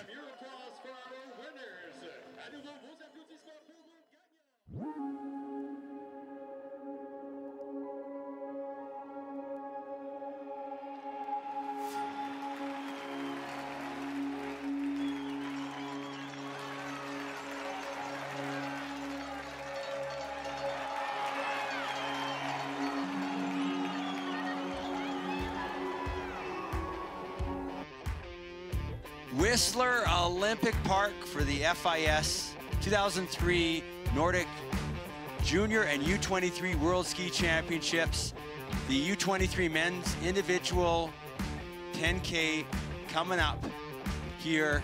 Tim, how excited are you for this event? We just saw an, a dramatic women's race. What do you think about the men's race coming up? Yeah, Steve, anything can happen out there. You know, some of these athletes are going to be pushing strong off the start, pushing on those climbs. Are they going to fill it with lactic acid too early on? Will they be able to push the flats to the descent? We saw in the women's race how critical the last two kilometers were. There's a lot of descending, a lot of flats to push hard on. You know, we definitely think uh, we got to save something for those final 2K. There we can see Jonas Vika. He was our winner in the 20K mass start, getting his his his bib and his timing chips. And, you know, again, we've been talking about the start order. So the top 25 FIS ranked skiers will be going first. And we were, you know, that was due to the forecast weather, but it's looking pretty good out there Yeah, right another now. beautiful day here in Whistler. You know, all these athletes are pumped with the quality of the snow, especially all the European athletes coming over. And uh, yeah, that snow hasn't come yet. Will it happen during this men's race, or are all the athletes going to luck out and uh, finish the race before the snow falls? Yeah, and this is, again, Whistler Olympic Park, just, you know, site of the 2010 Vancouver Olympic Nordic events, day seven of competition. We've had the ski jumping and Nordic combined also get underway here. And uh, this is the U23 men's 10K individual free technique race. And we've also got the relay tomorrow. So just one more day after this, what a championships this has been as the athletes get ready here for this individual Yeah, start race. And what a championship. So, you know, a big shout out to the organizing committee, Black Tusk Nordic Event Society, for, you know, taking years to put this on. They've been planning for about three years for this event, and they've done such an amazing job. And here's our start list. You know, one of our top Canadians out there, Remi Drolet, he's been on the World Cup. Not only does he race at the World Cup level, he's also studying at Harvard University. So amazing to see that balance at both high level of education and a high level of racing. Yeah, quite a few athletes that are trying to manage university and a top skiing career as well. So here we've got the Canadian 136, Max Hollmann. Yeah, another Canadian Sasha Masson to look for. You know, but some of my other favorites for today, you know, Jonas Vika, definitely a distance skier. Did so well in that 20K mass start. He also had a great sprint race, finishing fourth. So if he can uh, line everything up again today, we've seen that he's on form. He could have a good one. Julian Arnault, another one. Uh, bib number 20, look for him. He was third in that 20K event. Um, and uh, also Gus Schumacher from the US, you know, skiing consistently well on the World Cup. Here he is at the U23s, and uh, yeah, look for him having a great race. So we've got our our course map here. You know, they've changed things up a bit from the classic race, extended that first climb, so it's going to favor some of those grinders, some of those skiers who who enjoy the climbing early on, um, and they're going to come descend down, probably one of the the longest descents straightaways that we'll see today, and then come up to the second climb that we saw in the classic race. We'll see them at the checkpoint, 2.8 kilometers there, uh, and then they'll come over the top of the course and start descending. And we just we saw in the women's race how important that descent is. Yeah, the uh, the order was flipping around there on that final descent, and only four seconds separating the top three. So every second counts here today in the individual start race. And there is one of the British athletes getting ready. And there's the Romanian skier getting ready. There are 24 countries and 64 athletes to start here. 10 kilometers, two times five kilometer lap. No, there's a Swiss skier. I was talking to the Swiss coach earlier today. He, they have just been super pumped with the results. You know, uh, Kälin getting third yesterday in the junior women category. He's just like pumped with the top 10 results that they've been consistently seeing here at these championships. And he did mention that, you know, some of the athletes are starting to feel the jet lag uh, effects from flying into these championships. We're going to get underway very, very shortly. And another name to mention, Johnny Steel Hagenbuch, number 22. Took the gold in the skate race at the World University Games. And here we go, our first starter coming up, 101. Daniel Peshkov of Bulgaria, first year U23 from Bansko in Bulgaria, about two hours south of the capital, Sofia. And there we go, Peshkov of Bulgaria on course. 10K individual start, free technique, two laps of this five kilometer course here at Whistler Olympic Park. And the weather still holding together, still a very, very nice day here after the initial forecasted storm. That looks like it's delayed a little bit. And here is Chiocchetti of Italy. He was sixth in the classic sprint here this week, 24th in the 20K mass start. And at the Italian National Championships in skate, he was fifth. So a strong skater, the tall skier from Italy. Chiocchetti now on course. Now this is an interesting name to mention. Antonin Savary from Switzerland in the Swiss National Championships. He was first in the 10K skate. So another skier that really prefers this technique. He's from Riaz, Switzerland, about an hour south of Bern. And he's gonna feel the burn very shortly on this climb. There's two big climbs out of the stadium. Yes, Steve, I know we've talked a lot about how important that last two kilometer descending is, but you have to be in the mix early on this race. You have to be a strong climber in order to set yourself up for that final 2K. So here is Nufa of Switzerland, third in the 10K at his national championships, 10th in the mass start here. He is one of those skiers for Switzerland that was really pushing the pace on the last lap in that mass start race but just didn't quite have the skis in the sprint. Yes, Stephen, it's interesting to note that how he was pushing that pace in that mass start. Those athletes that are pushing the pace in a mass start often do really well in an individual race. And here is Joe Davies, number five, from the Whistler area, a little further north, the Pemberton uh, area here in BC. Uh, skied for the Whistler Nordic Ski Club here.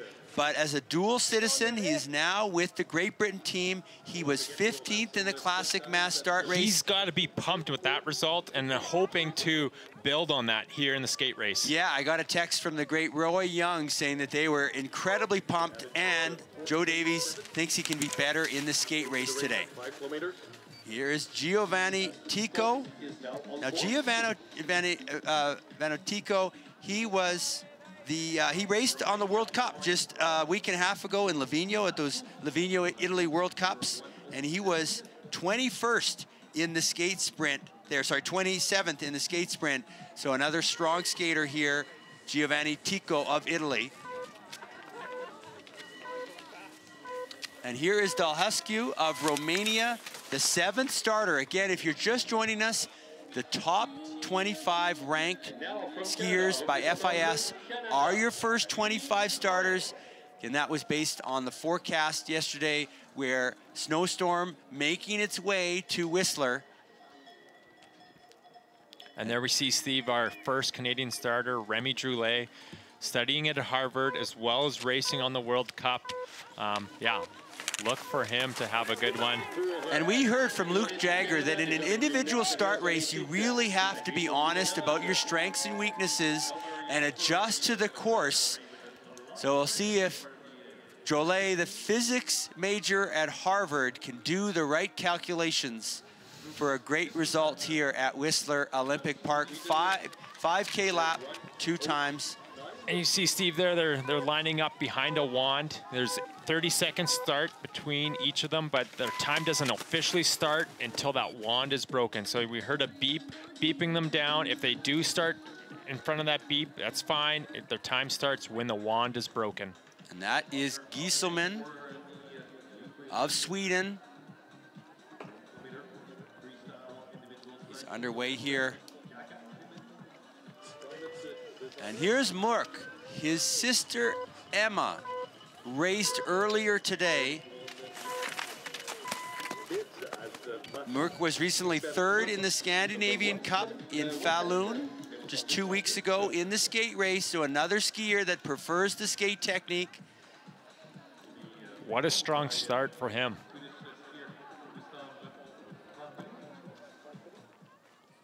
There is the Romanian Dalhescu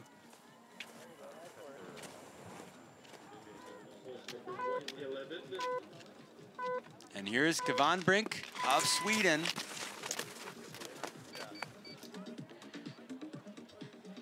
Lars Anger from Norway, number 112.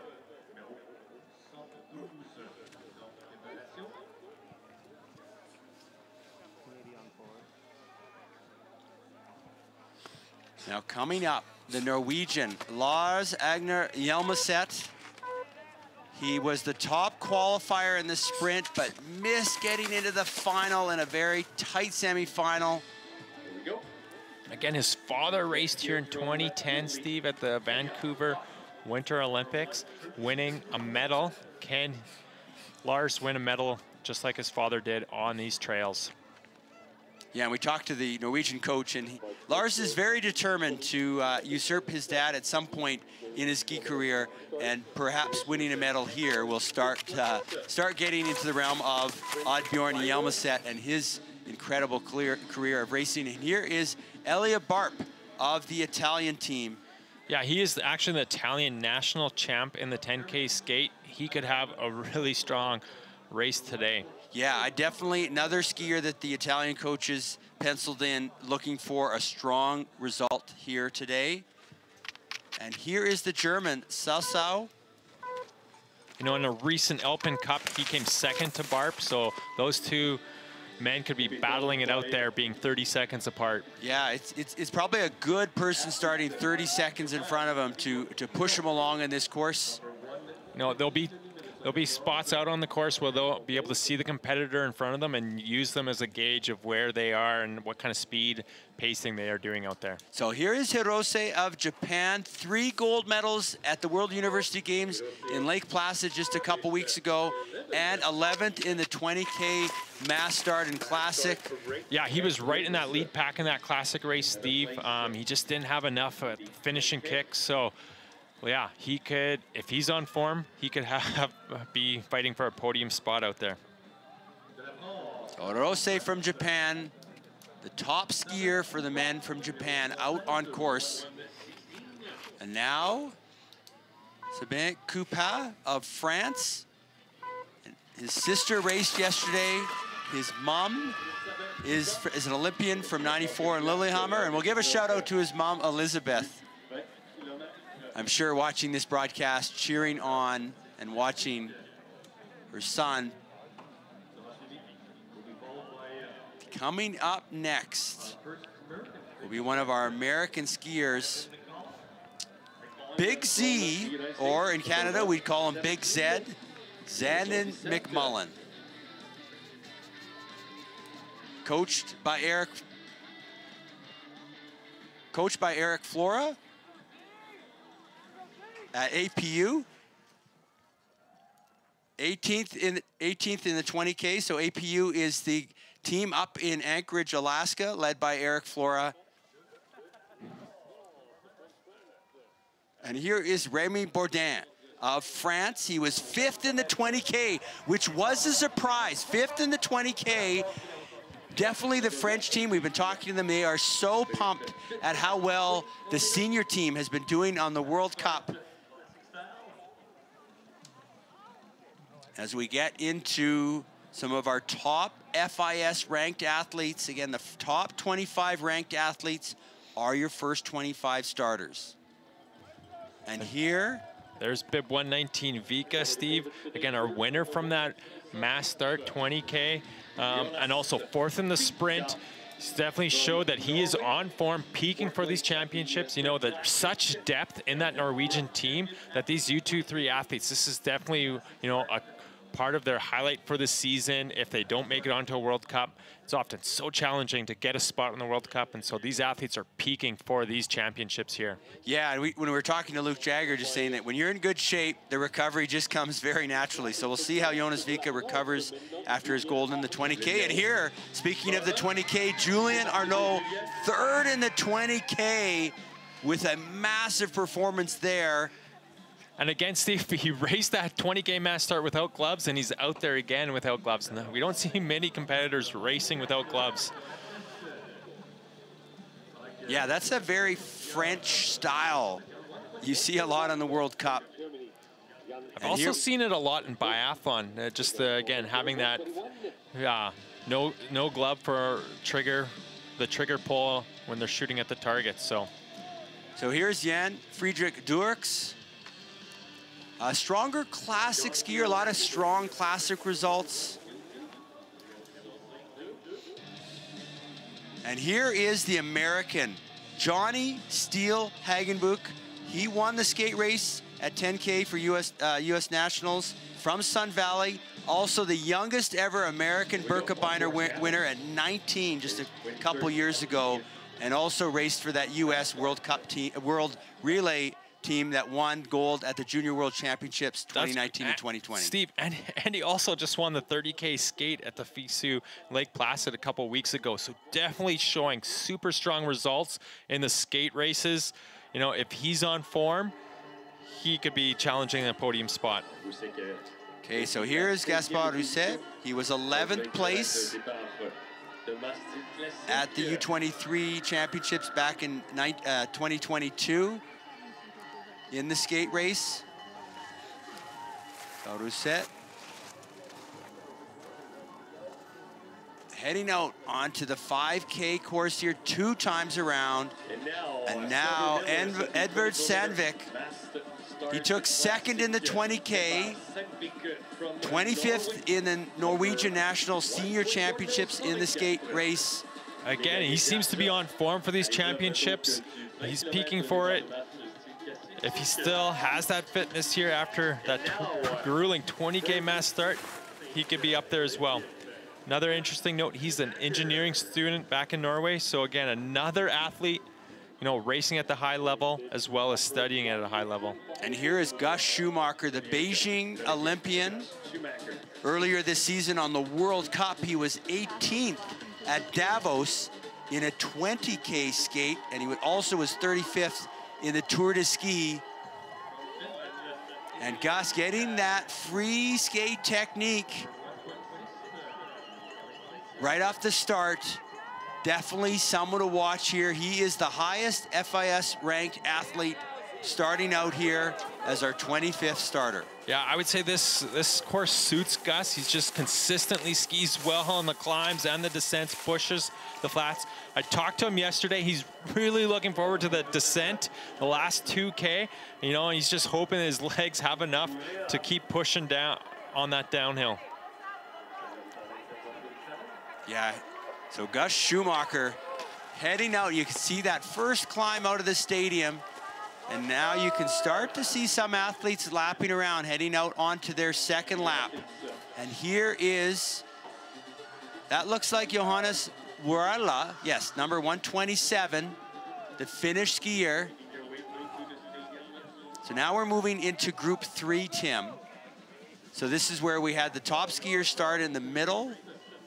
And now we have our, our, our later group, our third group of skiers starting. And we've got 64 starters here, and there is Gus Schumacher. Oh, it's great to see how low he gets in his tuck. You know, every on an individual race, every second matters.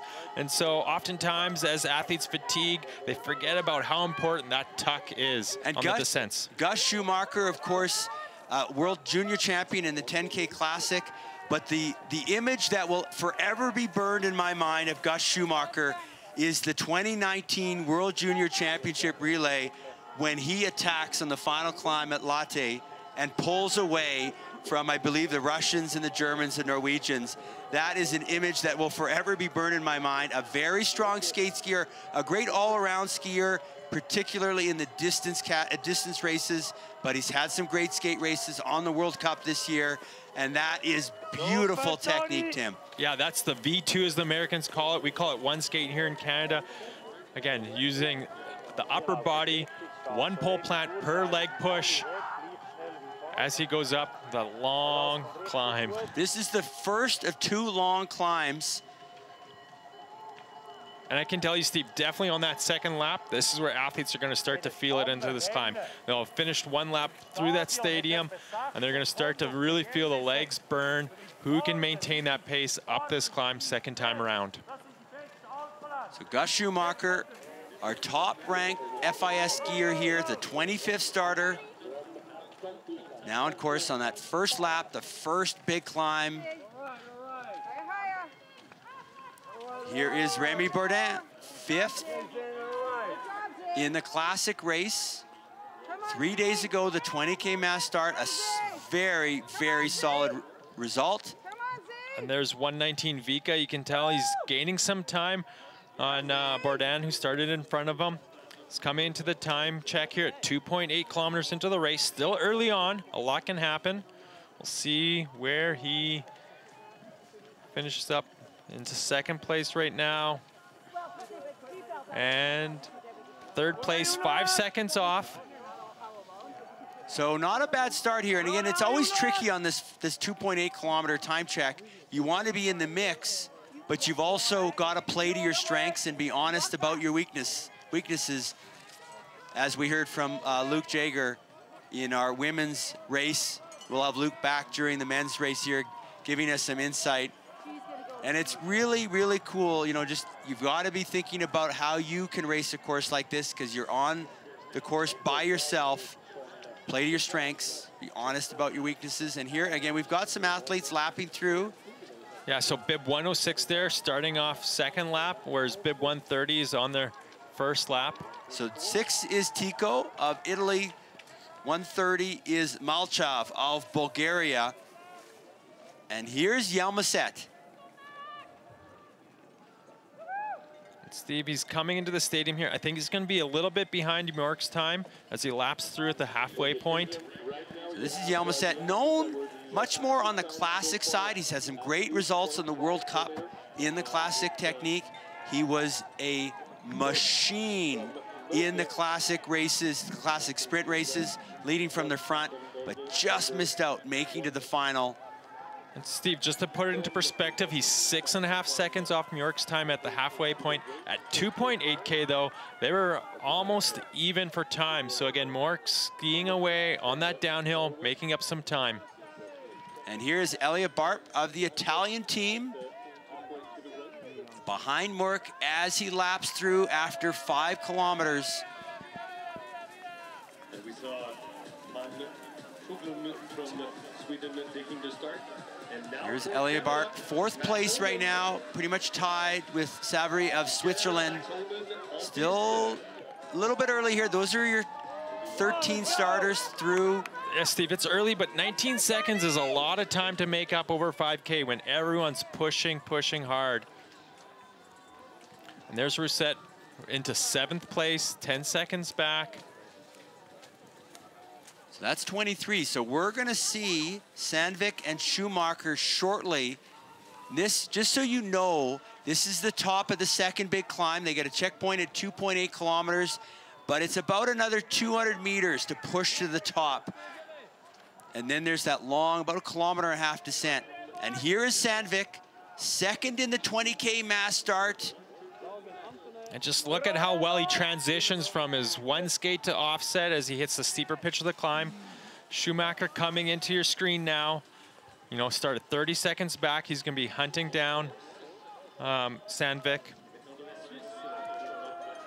So Schumacher looking relaxed. He's going to be slot into 11th spot right now, 12, 12 seconds down. Yeah, he's going to definitely have to pick up the pace if he wants to fight for a podium. You know, the coaches, you can hear a lot of yelling going on. The coaches are going to be cheering him on, giving him time splits. Um, and he's going to have to gauge where he is, how redlined he is. Can he increase that pace and try make up some time?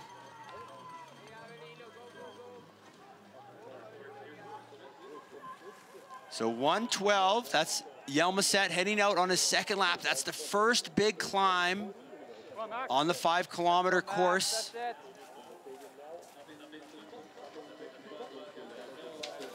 So right now your leader at 2.8 kilometers is Mørk of Norway. The top 25 skiers have been through that checkpoint. Hjelmeset was second at that point, but he's fallen off the pace at five kilometers. Jonas Vika was up there at 2.8 kilometers. Nufa of Switzerland, Savary of Switzerland were also in the mix. Very, very close. Hard to really read things here on this first lap. And there's bib 136. You saw Mad Max Hollmann from Canada. And there's Jonas Vika, 20K mass start, gold medalist, fourth place in the sprint. Coming already, around at the five kilometer checkpoint. Already he's behind Mork's time, so Mork is setting a strong pace out there. Will he be able to maintain it? So he is definitely falling off the pace of Mork. He was at 2.8K, he was just five seconds back, and now already 16 second, seven, almost 17 seconds back. So he, he's lost 12 seconds to Mork on that descent from one of the high points on the course. So is he, are some of these athletes saving something as they go into this last lap? Or is it just the ski speed uh, that Mork has on that downhill? So this is Coupat, 20th in the 20K mass start.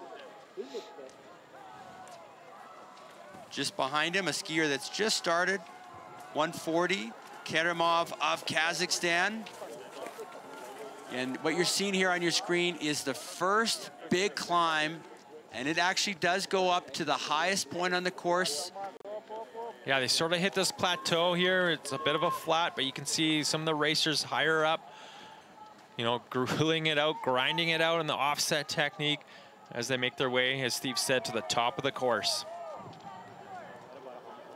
Here we've got, on his first lap, that's 131.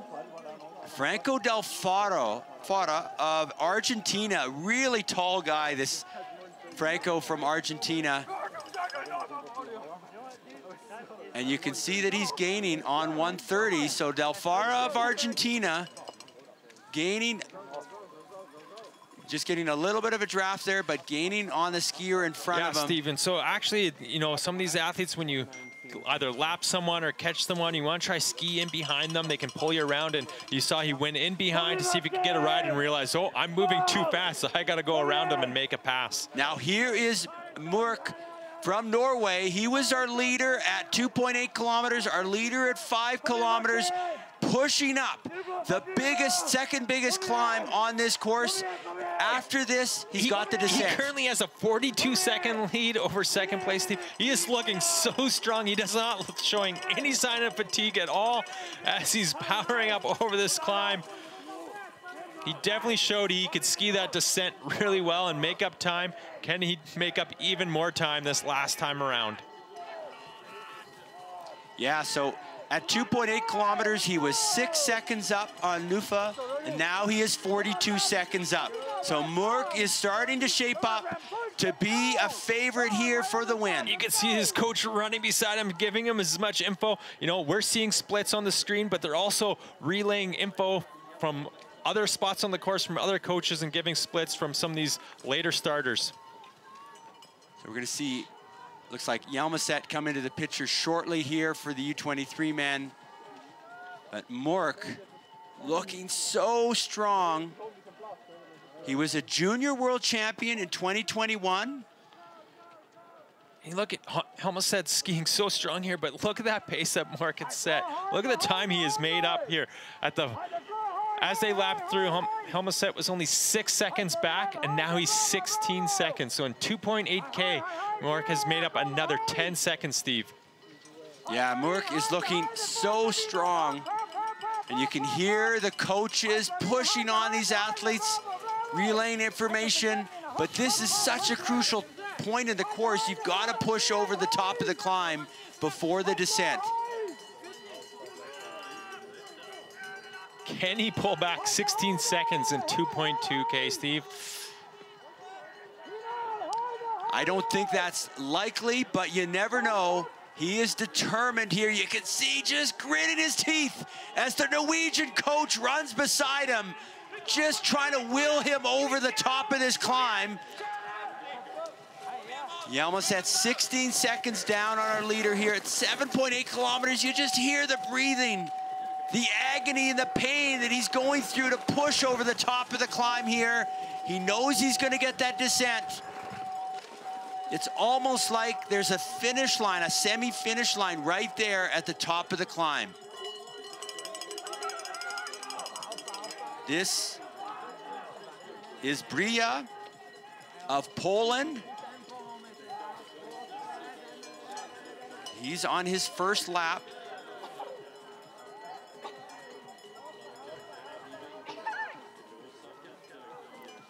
So Mørkeberg recently was third in the Scandinavian Cup in a 10K skate, just behind Andersen and Am Amundsen. Andersen, of course, winning a World Cup, and Amundsen also recently were winning a World Cup. So Mörk is in very good company with his recent results, looking very, very strong here. Here we've got 138. This is Thomas Lucas, and here is Joe Davies. Coming into the finish, last 100 meters. Daniel Peshkov uh, from uh, Bulgaria. Stepping on the gas. Again. so. Native to this area from Pemberton, I believe. Skied for Whistler Nordics. Had a great result in the 20K mass start, finishing 15th. He's hoping he can build on that. And we just saw Mörk there. Mörk from Drammen, Norway, where they held the big classic World Cup every year. Here's 116. Samek Kupa making his way up the second big climb on this course. Yeah, Steve, I'm just checking here. It, and he's sitting in sixth place, 52 seconds off the lead at 7.8 kilometers. And here comes Mork into the stadium, your 10th starter, setting the pace on this course, the final lap here. Look at the lead he has over our current hot seat. Antonin Savary from Switzerland. Mork driving to a world championship here. It's a possibility for the Norwegian. His sister raced earlier today. The Drammen Norway skier setting the pace today. What a ski here for Mork of Norway. so far in the race. He is dominating this race so far, but still many starters to come in. Look at that lead. He has 48 seconds over second place. You know, um, going back to some of those previous time checks out on course, and it's going to have to take some superhuman powers for the, the other men to catch him the time he set. Now we've got Jonas Vika 38 seconds down on Mork. Mork wasn't taking it easy on the first lap. He pushed on the second lap and has dramatically increased his lead on some of these skiers. Yeah, uh, Vika was only 17 seconds back at five kilometers and has lost even more time at the 7.8 kilometer mark. So our 20K Classic Mass Start World Champion.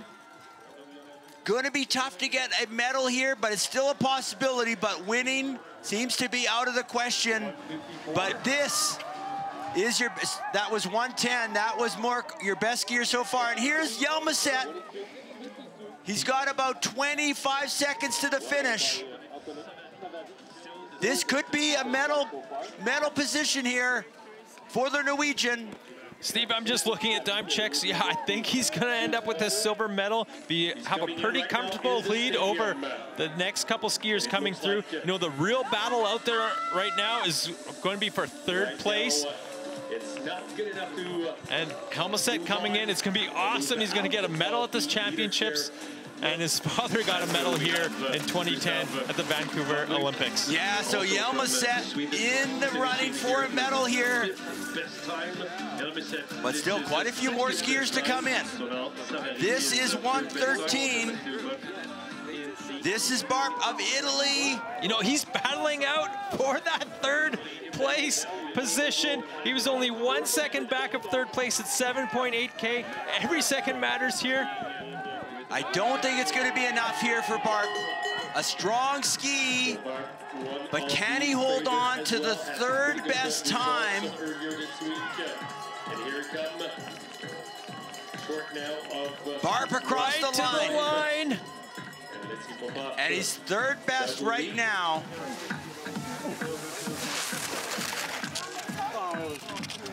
What an effort. Yeah, there's a few more racers out there who could challenge his time for third, so there is a good battle going on for that bronze medal, and this is one of those skiers here. Bib one, two, three, go set coming through at sixth place at 7.8 kilometers. You know, 43 seconds back of the lead, but only four seconds off Barp's time at this point. Here's here's Sandvik Tim, and it's all very close for those lower placings in the podium right now. So Sandvik still a chance here. He's sitting fifth spot here at 7.8 kilometers. yeah, he's only two seconds off third at this point. So there is a battle shaping up for third, fourth, and fifth. And here's Hirose coming through. Will he edge out Barp? Not quite at the line. Hirose with a strong ski, but not quite enough. The times are very, very close for third position here. Maybe he just peaked a little too early for these championships. You know, he won three gold medals at the recent FISU Games in Lake Placid. But he Here's put in a good effort today. Here's Sandvik over the top of the climb. There is a chance for a medal. At 7.8 kilometers, he was two seconds out of the third place position. Steve, you can just tell his legs are screaming at him right now. They want him to stop skiing those legs, but he's going to just keep pushing through. Can he move up?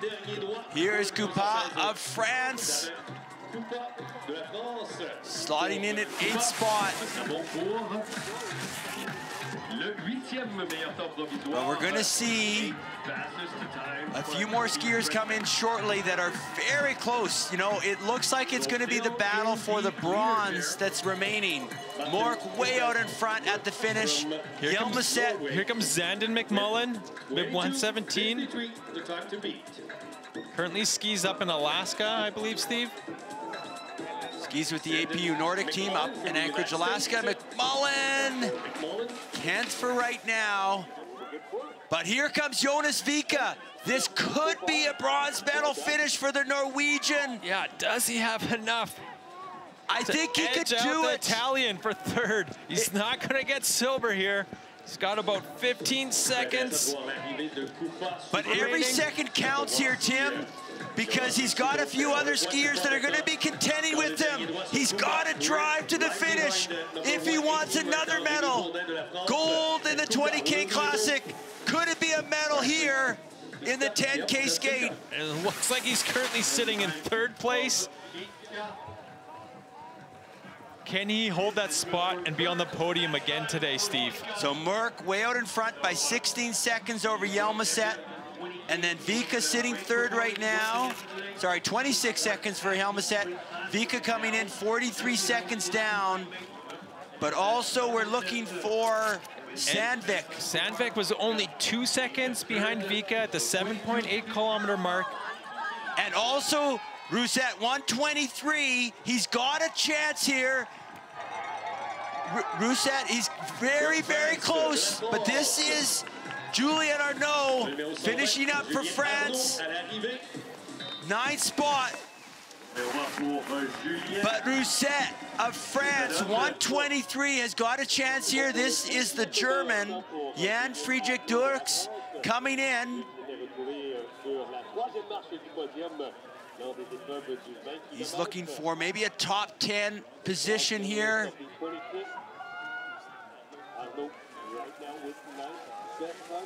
Just waiting for Gaspard There, I believe Rousset's coming to your screen. He was five seconds off Vika at 7.8 kilometers. He's going to have that information at the top of the course. His coaches are going to be telling him he needs to push. Every second counts. Can he move himself up into third position? Rousset going for a medal here. Could it be another medal for France? They've been motivated, motivated by the results of the senior team. Steve, this is going to be tight. He has really pushed over those last two kilometers. It's about 13 seconds to the finish for Rousset. Could he do it? Could he finish in a top three spot? Rousset driving to the line.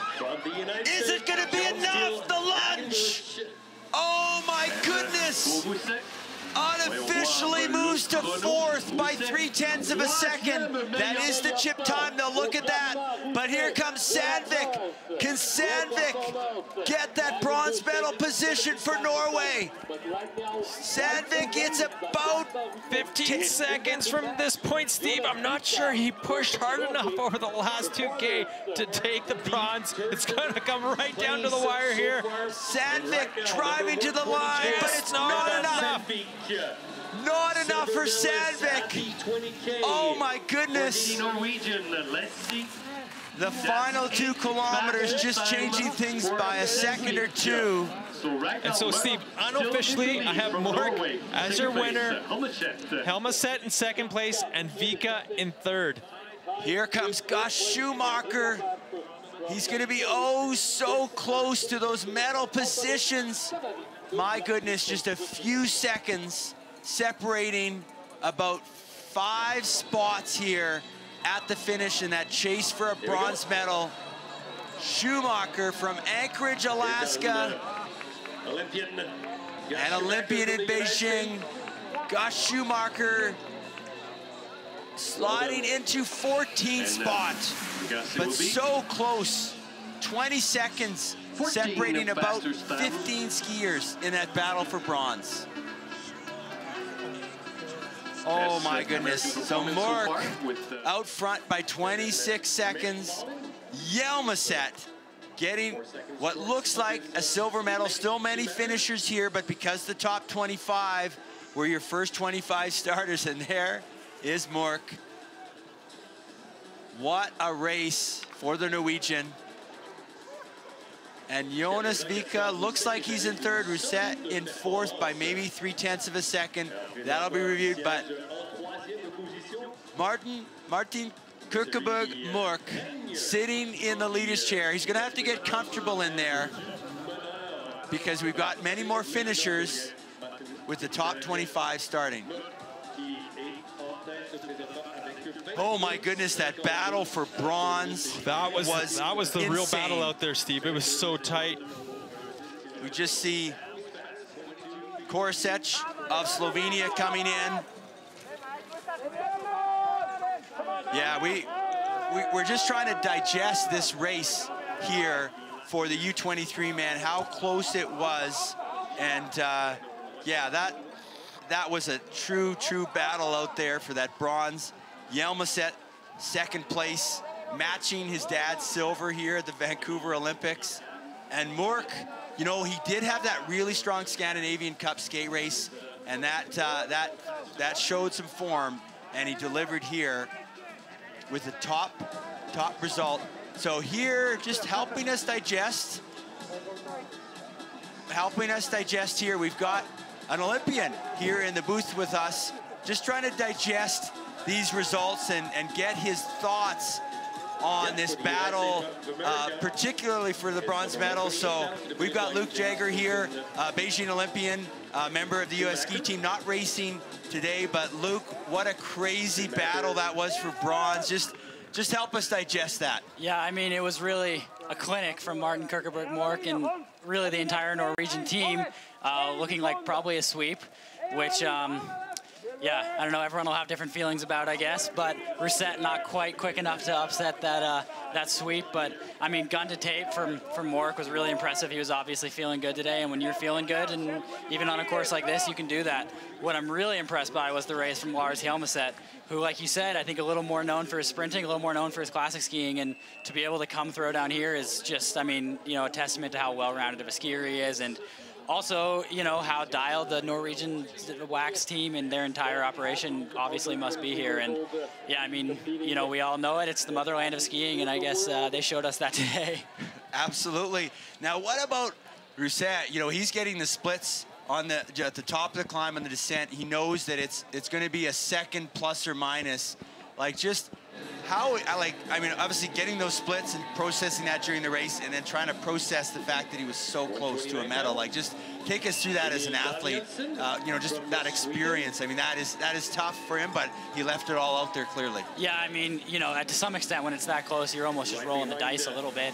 The way that you corner every little thing, you know, you're, the way your skis are running, it's a second or two, and uh, that's pretty easy to find or lose just based on kind of random factors out there. So definitely would be pretty gut wrenching and painful for him, but still a pretty phenomenal outing. Yeah, no, that was that was definitely a great battle out there, and uh, we got a number of more finishers here to come. Um, but let's talk maybe just a little bit about the American skiers out there.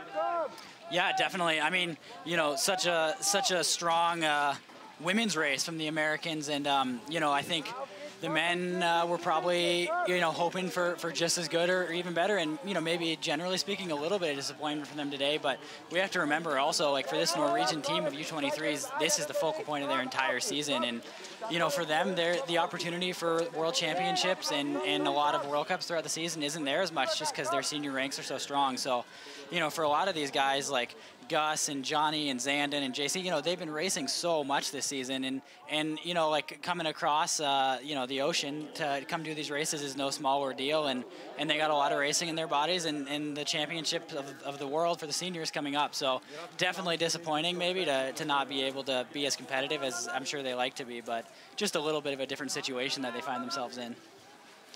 Yeah, now, one thing we've been talking about is some of these athletes being in university. Um, I believe Mork is in university. Uh, maybe Tim can, can confirm that. But uh, how, as a university athlete, you, you ski for University of Utah, um, how do you manage, you know, uh, university traveling? I mean, you got to pick your spots when you race. And uh, but as a team, how, how did how, as an athlete, how do you do you manage that? Yeah, definitely. I mean, it's going to look a little different depending on what your university setup looks like, and you know, obviously uh, the structure of the post-secondary education in, in Europe is a little different than with the NCAA system here. But you know, I think um, depending on on uh, how, how you kind of structure it, it can really be a blessing to kind of have something to take your mind off of the the ins and out of skiing all day. Yeah. So here's Max Hollmann, the Canadian from Thunder Bay, now trains with the Alberta World Cup Academy. Hollmann coming into the finish for Canada, looking for maybe a top Canadian spot. That was, that was a battle between the Canadians there. Great race by Max. You know, he looked so strong at the Canadian trials earlier this year in Prince George. Here is 34 Mitasov of Kazakhstan. So, Luke, you know, we talked about the U23 championships, the actual Open championships. Some of these athletes have been named to both teams. You know, they're balancing school. Where do you think their priorities lie? Are they are they trying to peak for the U23 championships, or are they trying to focus more on that senior championships, or are they thinking, ah, I got more years ahead of me. I'm going to focus more on Open championships later on in my career? Yeah, I mean, it's a good question. It's going to depend a little bit on, on who the athlete is, but there's a lot of things to consider, you know. I mean, like, um, you know, sort of what the events are. Maybe this isn't the strongest events for them at this championship, so they're going to go all in on the U23s because it's a little bit of a less competitive field. But maybe you're, you know, like Ben Ogden or someone, and you're an amazing classic sprinter, and you have an opportunity to fight for a medal at the senior championships, and maybe that's where all your energy is going to go. Um, really, yeah, depends a lot on kind of where where they're coming from. There is our leader. We just saw Thomas Lucas from Czech, Czechia finish, but that is Martin Kirkeberg, Kirkeberg Mork, our and, hot and Steve, he's getting real comfortable in that hot seat, and I think he's going to be there until the, the end of the race. And here's Avelino Näpflin coming in with what looks like a 20 top 25 right now. Again, if you're just joining us, our 25 top-ranked FIS skiers. We're the first 25 because of the forecasted weather, but weather was not an issue for these athletes.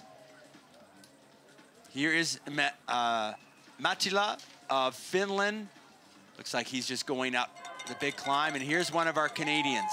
Sasha Masson from the Yukon, currently training with the Pierre Harvey Training Center in Quebec. And looks like he's going for a top Canadian spot today. I think he's got a chance here to maybe be top Canadian. He's got about 15 or 20 seconds to go. From Whitehorse, Yukon, Sasha Masson coming into the finish. And both his parents are Olympians in cross-country skiing, representing Canada. Let's hear it for Sasha Masson from Canada.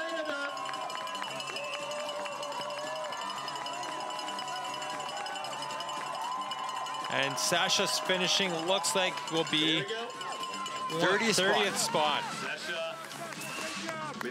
So we still have another about 23 finishers here. And you can see just in the background, Mark getting the congratulations from the other skiers. Kind of looks like he's got a barbecue going there as he sits and relax. And here is Jan Stölben of Germany. Looking not, I don't think quite going to get a top 20 position for the German. And uh, number 143, this is from Germany, Jan Stormen. Yeah, and you, we talked about the depth of the Norwegian team. You know, the Scandinavian Cup, the skiers that, that couldn't quite make the Norwegian World Cup team.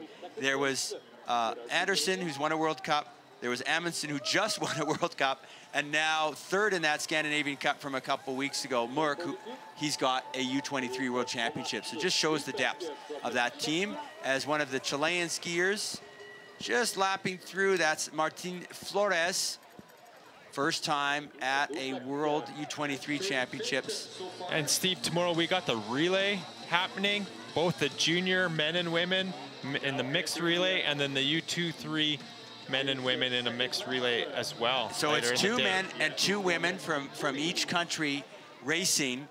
Uh, one thing that they'll have to decide is who races for Norway. I was talking to uh, Bergane, who was bronze medalist here uh, just after a race, and uh, she was quite hopeful that she would get on that relay team, but but uh, it's not an easy choice for some of these teams. Yeah, and uh, Luke, just take us through that uh, relay event tomorrow. You know, it's five kilometers. Do you think there's going to be athletes trying to break early on in some of those one first leg, second leg, or is it going to come down to uh, kind of that fourth leg, final sprint? Yeah, I mean, it's a good question, and the 5K versus the 10K is a pretty big difference. It's going to really change the way it unfolds. Um, every leg has such a unique role, and traditionally the first leg will will really, the first leg and even the last leg will often sometimes be the most tactical, kind of sprint-oriented legs, just with a lot of sitting in the pack done. And then the middle two legs are often kind of the workhorse legs, and the third skate leg especially is where they'll probably try and put their strongest skater who can just really go out and, you know, grind that last leg and try and get their finisher who maybe will be a little bit more of a sprint-oriented person to have a little bit more uh, leeway so that they can save their legs and be in it for the for the finish. But yeah, I mean, it's going to be interesting and a lot of different a lot of different tactics and a lot of different teams with really strong skiers. So it'll be great. You know, so when you're having some of these meetings the night before, once the team's selected, are you are you talking about Plan A, Plan B, Plan C, so you're prepared for whatever unfolds? Yeah, I mean, I think definitely, and you know, you'll be looking at the other teams and and what you think, uh, you know, their team is going to look like and uh, who they're going to put where, and um, you know, you'll also look a lot of the nature of the course and be like, well, have these races been staying together or have they been getting really drawn out? And if they've been, you know, if the conditions are really fast and it stays together, then you'll want a sprinter on your last leg who's going to be able to, to be there and have the, you know, the speed to finish. But, you know, like a day like today, the grinders are really pulling away from everybody. So maybe the strategy is just to kind of put some, some workhorses on there who are just going to fry at the sprinter's legs and, and um, yeah, take it from the front. So one thing we just noticed on our screen, just to update our viewers, Mule of Slovenia was catching Mattila of Finland. So Mule looks like he might come in with a solid result. You're not to challenge our, uh, our top result, but that's someone to watch for. Yeah, Stephen, just again, talking about these relays, you know, we got the junior relay happening and the U23. I think, you know, some of these U23 athletes have seen each other on the World Cup. They kind of know where the strengths, where the weaknesses are, and it's always the junior category. They're only really gauging each other based upon these championships. They haven't had a lot of experience racing against each other, and that's going to be interesting how it plays in tomorrow's tactics.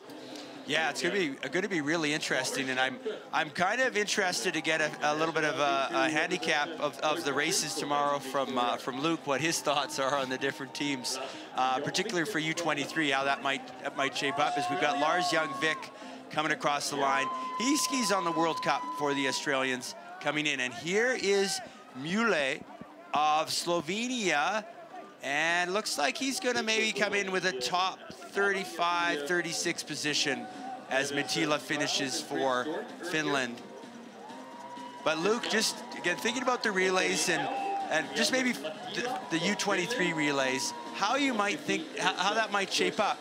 Um, I think, you know, Norway, USA, Germany, uh, a few other countries looking good going into that. Yeah, so the order is, is it male, it is going to be female, male, okay. female, male is what we were what we heard yesterday. Yep, definitely. So I mean, I think you know, uh, if I'm putting a team together, I probably would look at at uh, who who was sprinting really well and who was able to have the legs to, to last the entire sprint day. It's you know the classic technique is going first, obviously, and anyone who was able to last all the way through the sprint day, maybe make it to a sprint final, I think is going to have the legs to be able to last the full five kilometers for the first leg and uh, yeah, be able to be really strong in the finish. So in the case of the Norwegians, um, now Fosnes was the best sprinter for the women, yep. but for the men, uh, who might that be for the Norwegians that they might put on that final final leg? Maybe not Mork.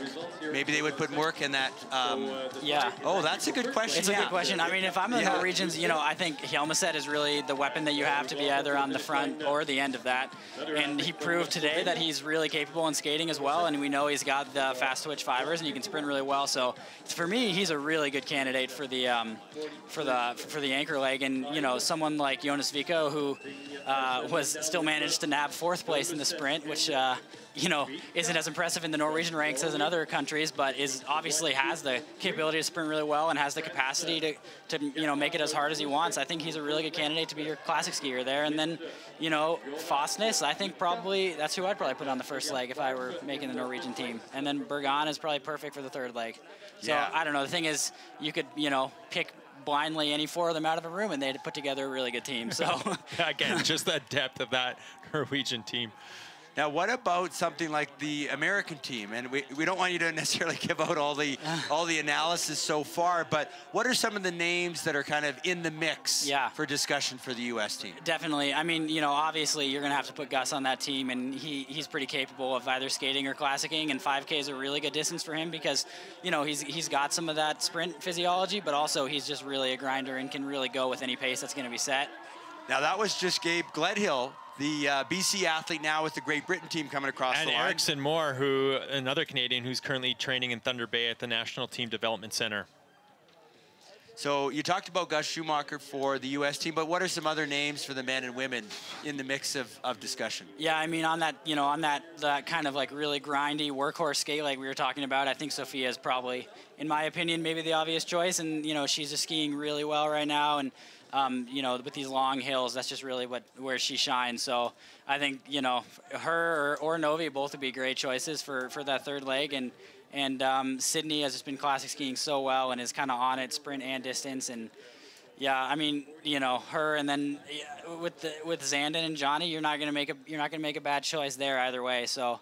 Um, yeah, I don't know. I, I uh, I, don't, I can't say I'm giving you insider information because I don't even know. So right, they're not telling you that. that sounds, yeah. sounds, like some tough decisions for the coaches later tonight Absolutely. as they put the teams in. And I'm interested also about the German team because clearly Lohmann on Hoffmann for the women are skiing well, and I think it's it's maybe Hoffmann for the first classic leg, and uh, sorry uh, for the skate leg, and Lohmann for the classic leg. So that's another team I think that could surprise definitely tomorrow. Yeah. I mean, they've got to figure out the, the men's side. Yeah. No, I would say for me, the, the Germans are sort of the dark horses uh, of this whole race because, you know, they have the they have all the players to put together a really good relay, and depending on how how the race shapes up, you know, they could really be in it at the end. So yeah, it'll be definitely be interesting. And it, once it comes down to a sprint in a relay, you just don't know how it could shake out. As we've got 156. This is Chenik of Slovakia coming in. We had 64 starters. Chenik comes in looking for it. Sliding into about 52nd spot here.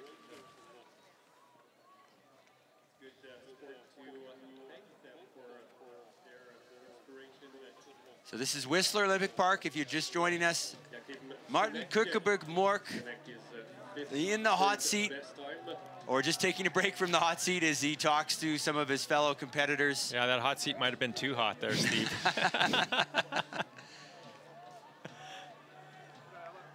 and, and, we got James uh, Sleeman coming in for the uh, for the Great Britain team. And as this winds down, we've got some more racing winding up here with the Nordic Combined coming up very shortly. It's the junior individual Gundersen event for, for the women, and it's going to be the cross-country 5K that's going to be coming up very shortly, and then the men's 10K. And we've got uh, Billy and Max doing the commentary on that. They'll be coming in shortly, and, and there was some very exciting uh, racing there in the team event a couple days ago. That was a relay that came down to, the that- final climb. Exactly. We saw that in the 20K mass start here in the cross country and it happened in the Nordic combined that it came down to that final climb sprint. Sommerfeld put that put the jet booster on and took away from the pack. And you know what, we talk about again, we've talked so much about cross country, but also that ski jumping yesterday, Canada, Canada walking away with a gold medal in the junior women's ski jump. Yeah, Alex- awesome. Alexandria Loutitt taking the gold there for Canada in the ski jumping. There is Jaime Pueyo of Spain. National team members are And we've got Manex Silva of Brazil. Anze Gros Gro of Slovenia. Slovenia, of course, ho hosting the World Senior Championships for Nordic uh, in about a month, and holding, uh, hosting the next World Junior Championships and U23 Championships next year. And uh, yeah, I'm really interested on this relay and the selection of the Norwegian team because Hjelmeset, uh, who got a silver today, will he be part of that team?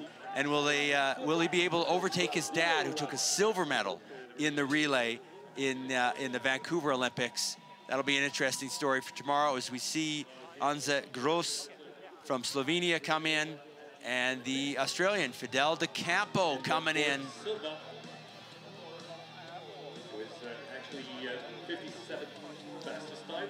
So Australia, they hold their their uh, qualification races or their trials races in September for the uh, for the World Juniors in U23. is uh, training at the uh, facilities with the uh, So Luke, I know we talked, you know, during the women's race a little bit how how you got to ski this as an individual ski to your strengths. Where are some crux moves out there on that course?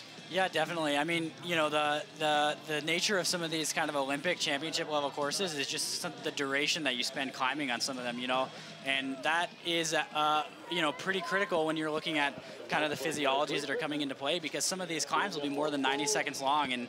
You know, if you're uh, uh, a little more of an anaerobic physiology who's just capable of producing so much lactate, um, then you know that's long enough for you to kind of go over the red line, and it's sometimes pretty hard to return from there. So, in you know some of these courses that sometimes we see on the World Cup and in other circuits where they're a little more mellow, a little more rolling, and you don't spend quite so much time in that grind mode, then you know someone uh, who's not quite as like aerobically capacity gifted can really get away with it and really use their power to you know, ski really well and, and, and dynamically, but on courses like this, it's so hard to fake it, you know? So if you know that, uh, that that's something you need to worry about, then the speed that you're going to start at is going to be a much lower percentage of your top speed than a more distance-oriented skier who just doesn't have that top speed. All right, that's all interesting, Luke. You know, you're talking with John Aalberg earlier about designing this course for this individual. He wanted to see, you know, a really tough course out there to really separate those true endurance athletes out there and make people work hard for it. Yeah, he tries to tries to make the hardest course for this race. It's a pure endurance effort, is how he views the individual start races. Adam Burnett of Australia comes in to the finish, or 62nd out of 64 starters. And John Aalberg, I think, has done, what, all the Olympic courses through here, through he did China, and I think he's going to be doing the next one as well.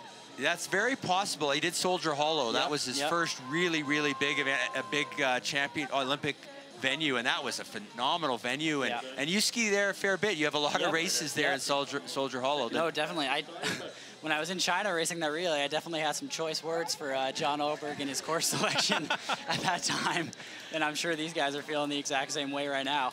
Yeah, he likes to uh, set the courses up for both uh, pain and excitement. Yeah. And we've seen a lot of excitement this Yeah, year. We, we've you know, seen the- both out here, Steve. yeah, absolutely. That's uh, as, as those skiers are lying at the finish line.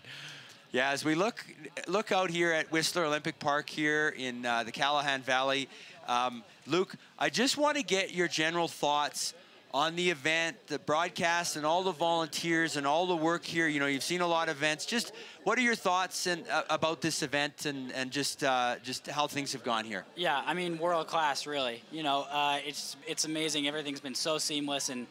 Um, you know, completely comparable to World Cup, World Championship level events, and and I, you know, I would hope that someday we get to see some World Cups and you know World Championship level events return here because, uh, you know, I think uh, Europe is awesome, but it's it is an international sport, and it'd be great to have it actually be a little more international. And yeah, you know that's always a bit of uh, an ordeal uh, funding wise and everything, but they you know they have the volunteers out here and there's so many people just spending all day day in and day out sitting in the tent sitting in the cold taking chips and taking bibs and um, yeah it's something you really take for granted as an athlete a lot of the time because it's just always there at every venue you go to but seriously this just doesn't happen without that so yeah hats off to all of them for sure oh thanks those are some great words here from luke jager at, the uh, World U23 and Junior Nordic Ski Championships. And oh, Steve, there's the clouds starting to roll in. Is that snow coming?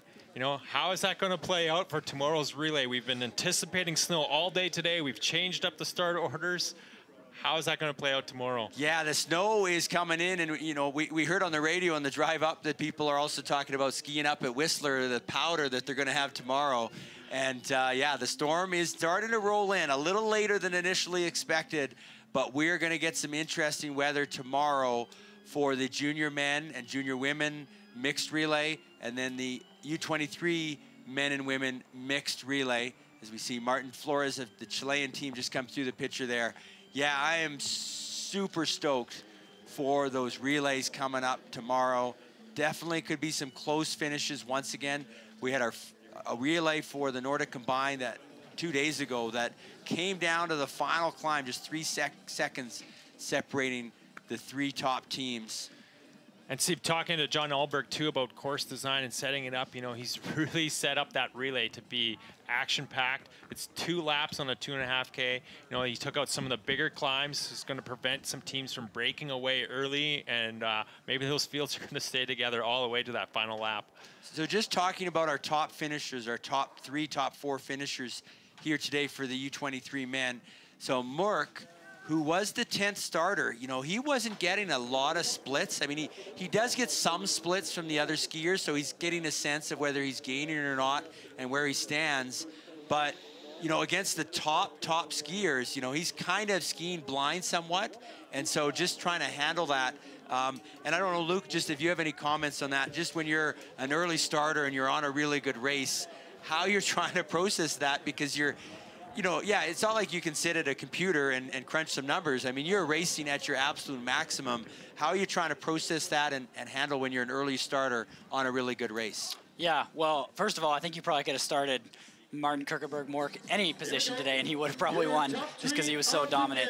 But sometimes it can be almost a little bit of a blessing, you know, to be to be uh, kind of away and in front of all the madness of, of the high-seated skiers behind you, because um, you get to really the freedom to do your own race, and I think he showed that today. Yeah, so there's your podium. There is Mork, a massive race and here is Martin Flores of Chile, first ever World U23 Championships. And, uh, you know, the atmosphere, or the, the Chilean, uh, the wax area, I was chatting with them, and they just, their smiles were so massive. They were so happy to be here. They've been training in this province for a month. You know, their, their ski season is July and August. All of them come from the same club, about 60 kilometers outside of Santiago, Chile, as Mar Martin Flores comes into the finish. Our, our last starter, and he's coming in now. 10K individual start. Chilean skier Martin Flores. So powering his way to the line. Mar powering his way to the finish line. Mart Martin, our winner, and our Martin just coming across the line as well, you can see. And here we go. Okay, so that concludes the individual start race. It was Mork on top, Hjelmeset in second, and Vika in third. And we'll go through the standings a little more because it was so, so close. When we look at those times, Tim, that battle for third was so close. I mean, it, a it corner was all here, over the place there. for third place. There was about five skiers battling it out on that second lap for that third spot. And here we go. You can see Mork in first, Hjelmeset in second, and then look how close it is, Tim, for third through 10th. Yeah, at uh, one point, 7.8K, it could have been anyone's game between Vika, Rousset, and Barp, you know, and they're getting those splits and they're fighting hard all the way around the course. Yeah, the third through eighth were within about six seconds there. Joe Davies, a solid result. He's going to be super happy Again, with 13th. moving up from his 15th in the mass start into 13th. He's going to be happy with that result. Two Canadians, 23rd, 24th, Remi Drolet and Mad Max Hollmann. Great then- results from them. And we've got Gabe Gledhill, grew up on Vancouver Island, skied with the Strath- Strathcona Nordics, now with Great Britain in 34th. Sasha Masson from the from Yukon, and Erickson Moore, 41st, skiing with the National Team Development Center out of Thunder Bay. But it, an interesting story. So Mork, uh, clearly a dominating performance here, taking a U23 World Championship. Hjelmeset equaling the medal his dad won at the Olympic Games in 2010, but with a chance, perhaps if he's on the team tomorrow, to maybe take a gold. And what's interesting, we were talking to John Aalberg about those 2010 World Championships relay, and he said, you know, if you if you watch that race, Hjelmeset was kind of battling for first, but his skis iced up, and it became a saying in in Norway that everyone knew that you know if you were late to a meeting, oh oh my skis iced up. That was kind of the message uh, and this, the the uh, idiom from uh, from those championships. And we talked to the coach for Norway, and he was very adamant that Hjelmeset wants to overtake his dad in his ski career. And see, very interesting, that relay from 2010 saw the snow coming down. They were skiing in the snow, and we might see very similar conditions tomorrow um, with the snow in the forecast. Yeah, so that snow could uh, could change things up.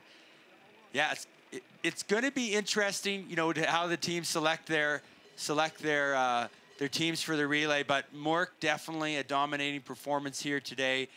See if he makes on the team. And thank you to Luke Jager for for being here in the booth with us today. Thanks for having me. It was a great time. And here is some some uh, images from today's race. That was Jonas Vika, then Hjelmeset collapsing at the line with a silver medal performance. The crowd going wild as Mork, a dominating performance by the Norwegian, driving to the line, a U23 champion. There is Mork atop the world in Whistler.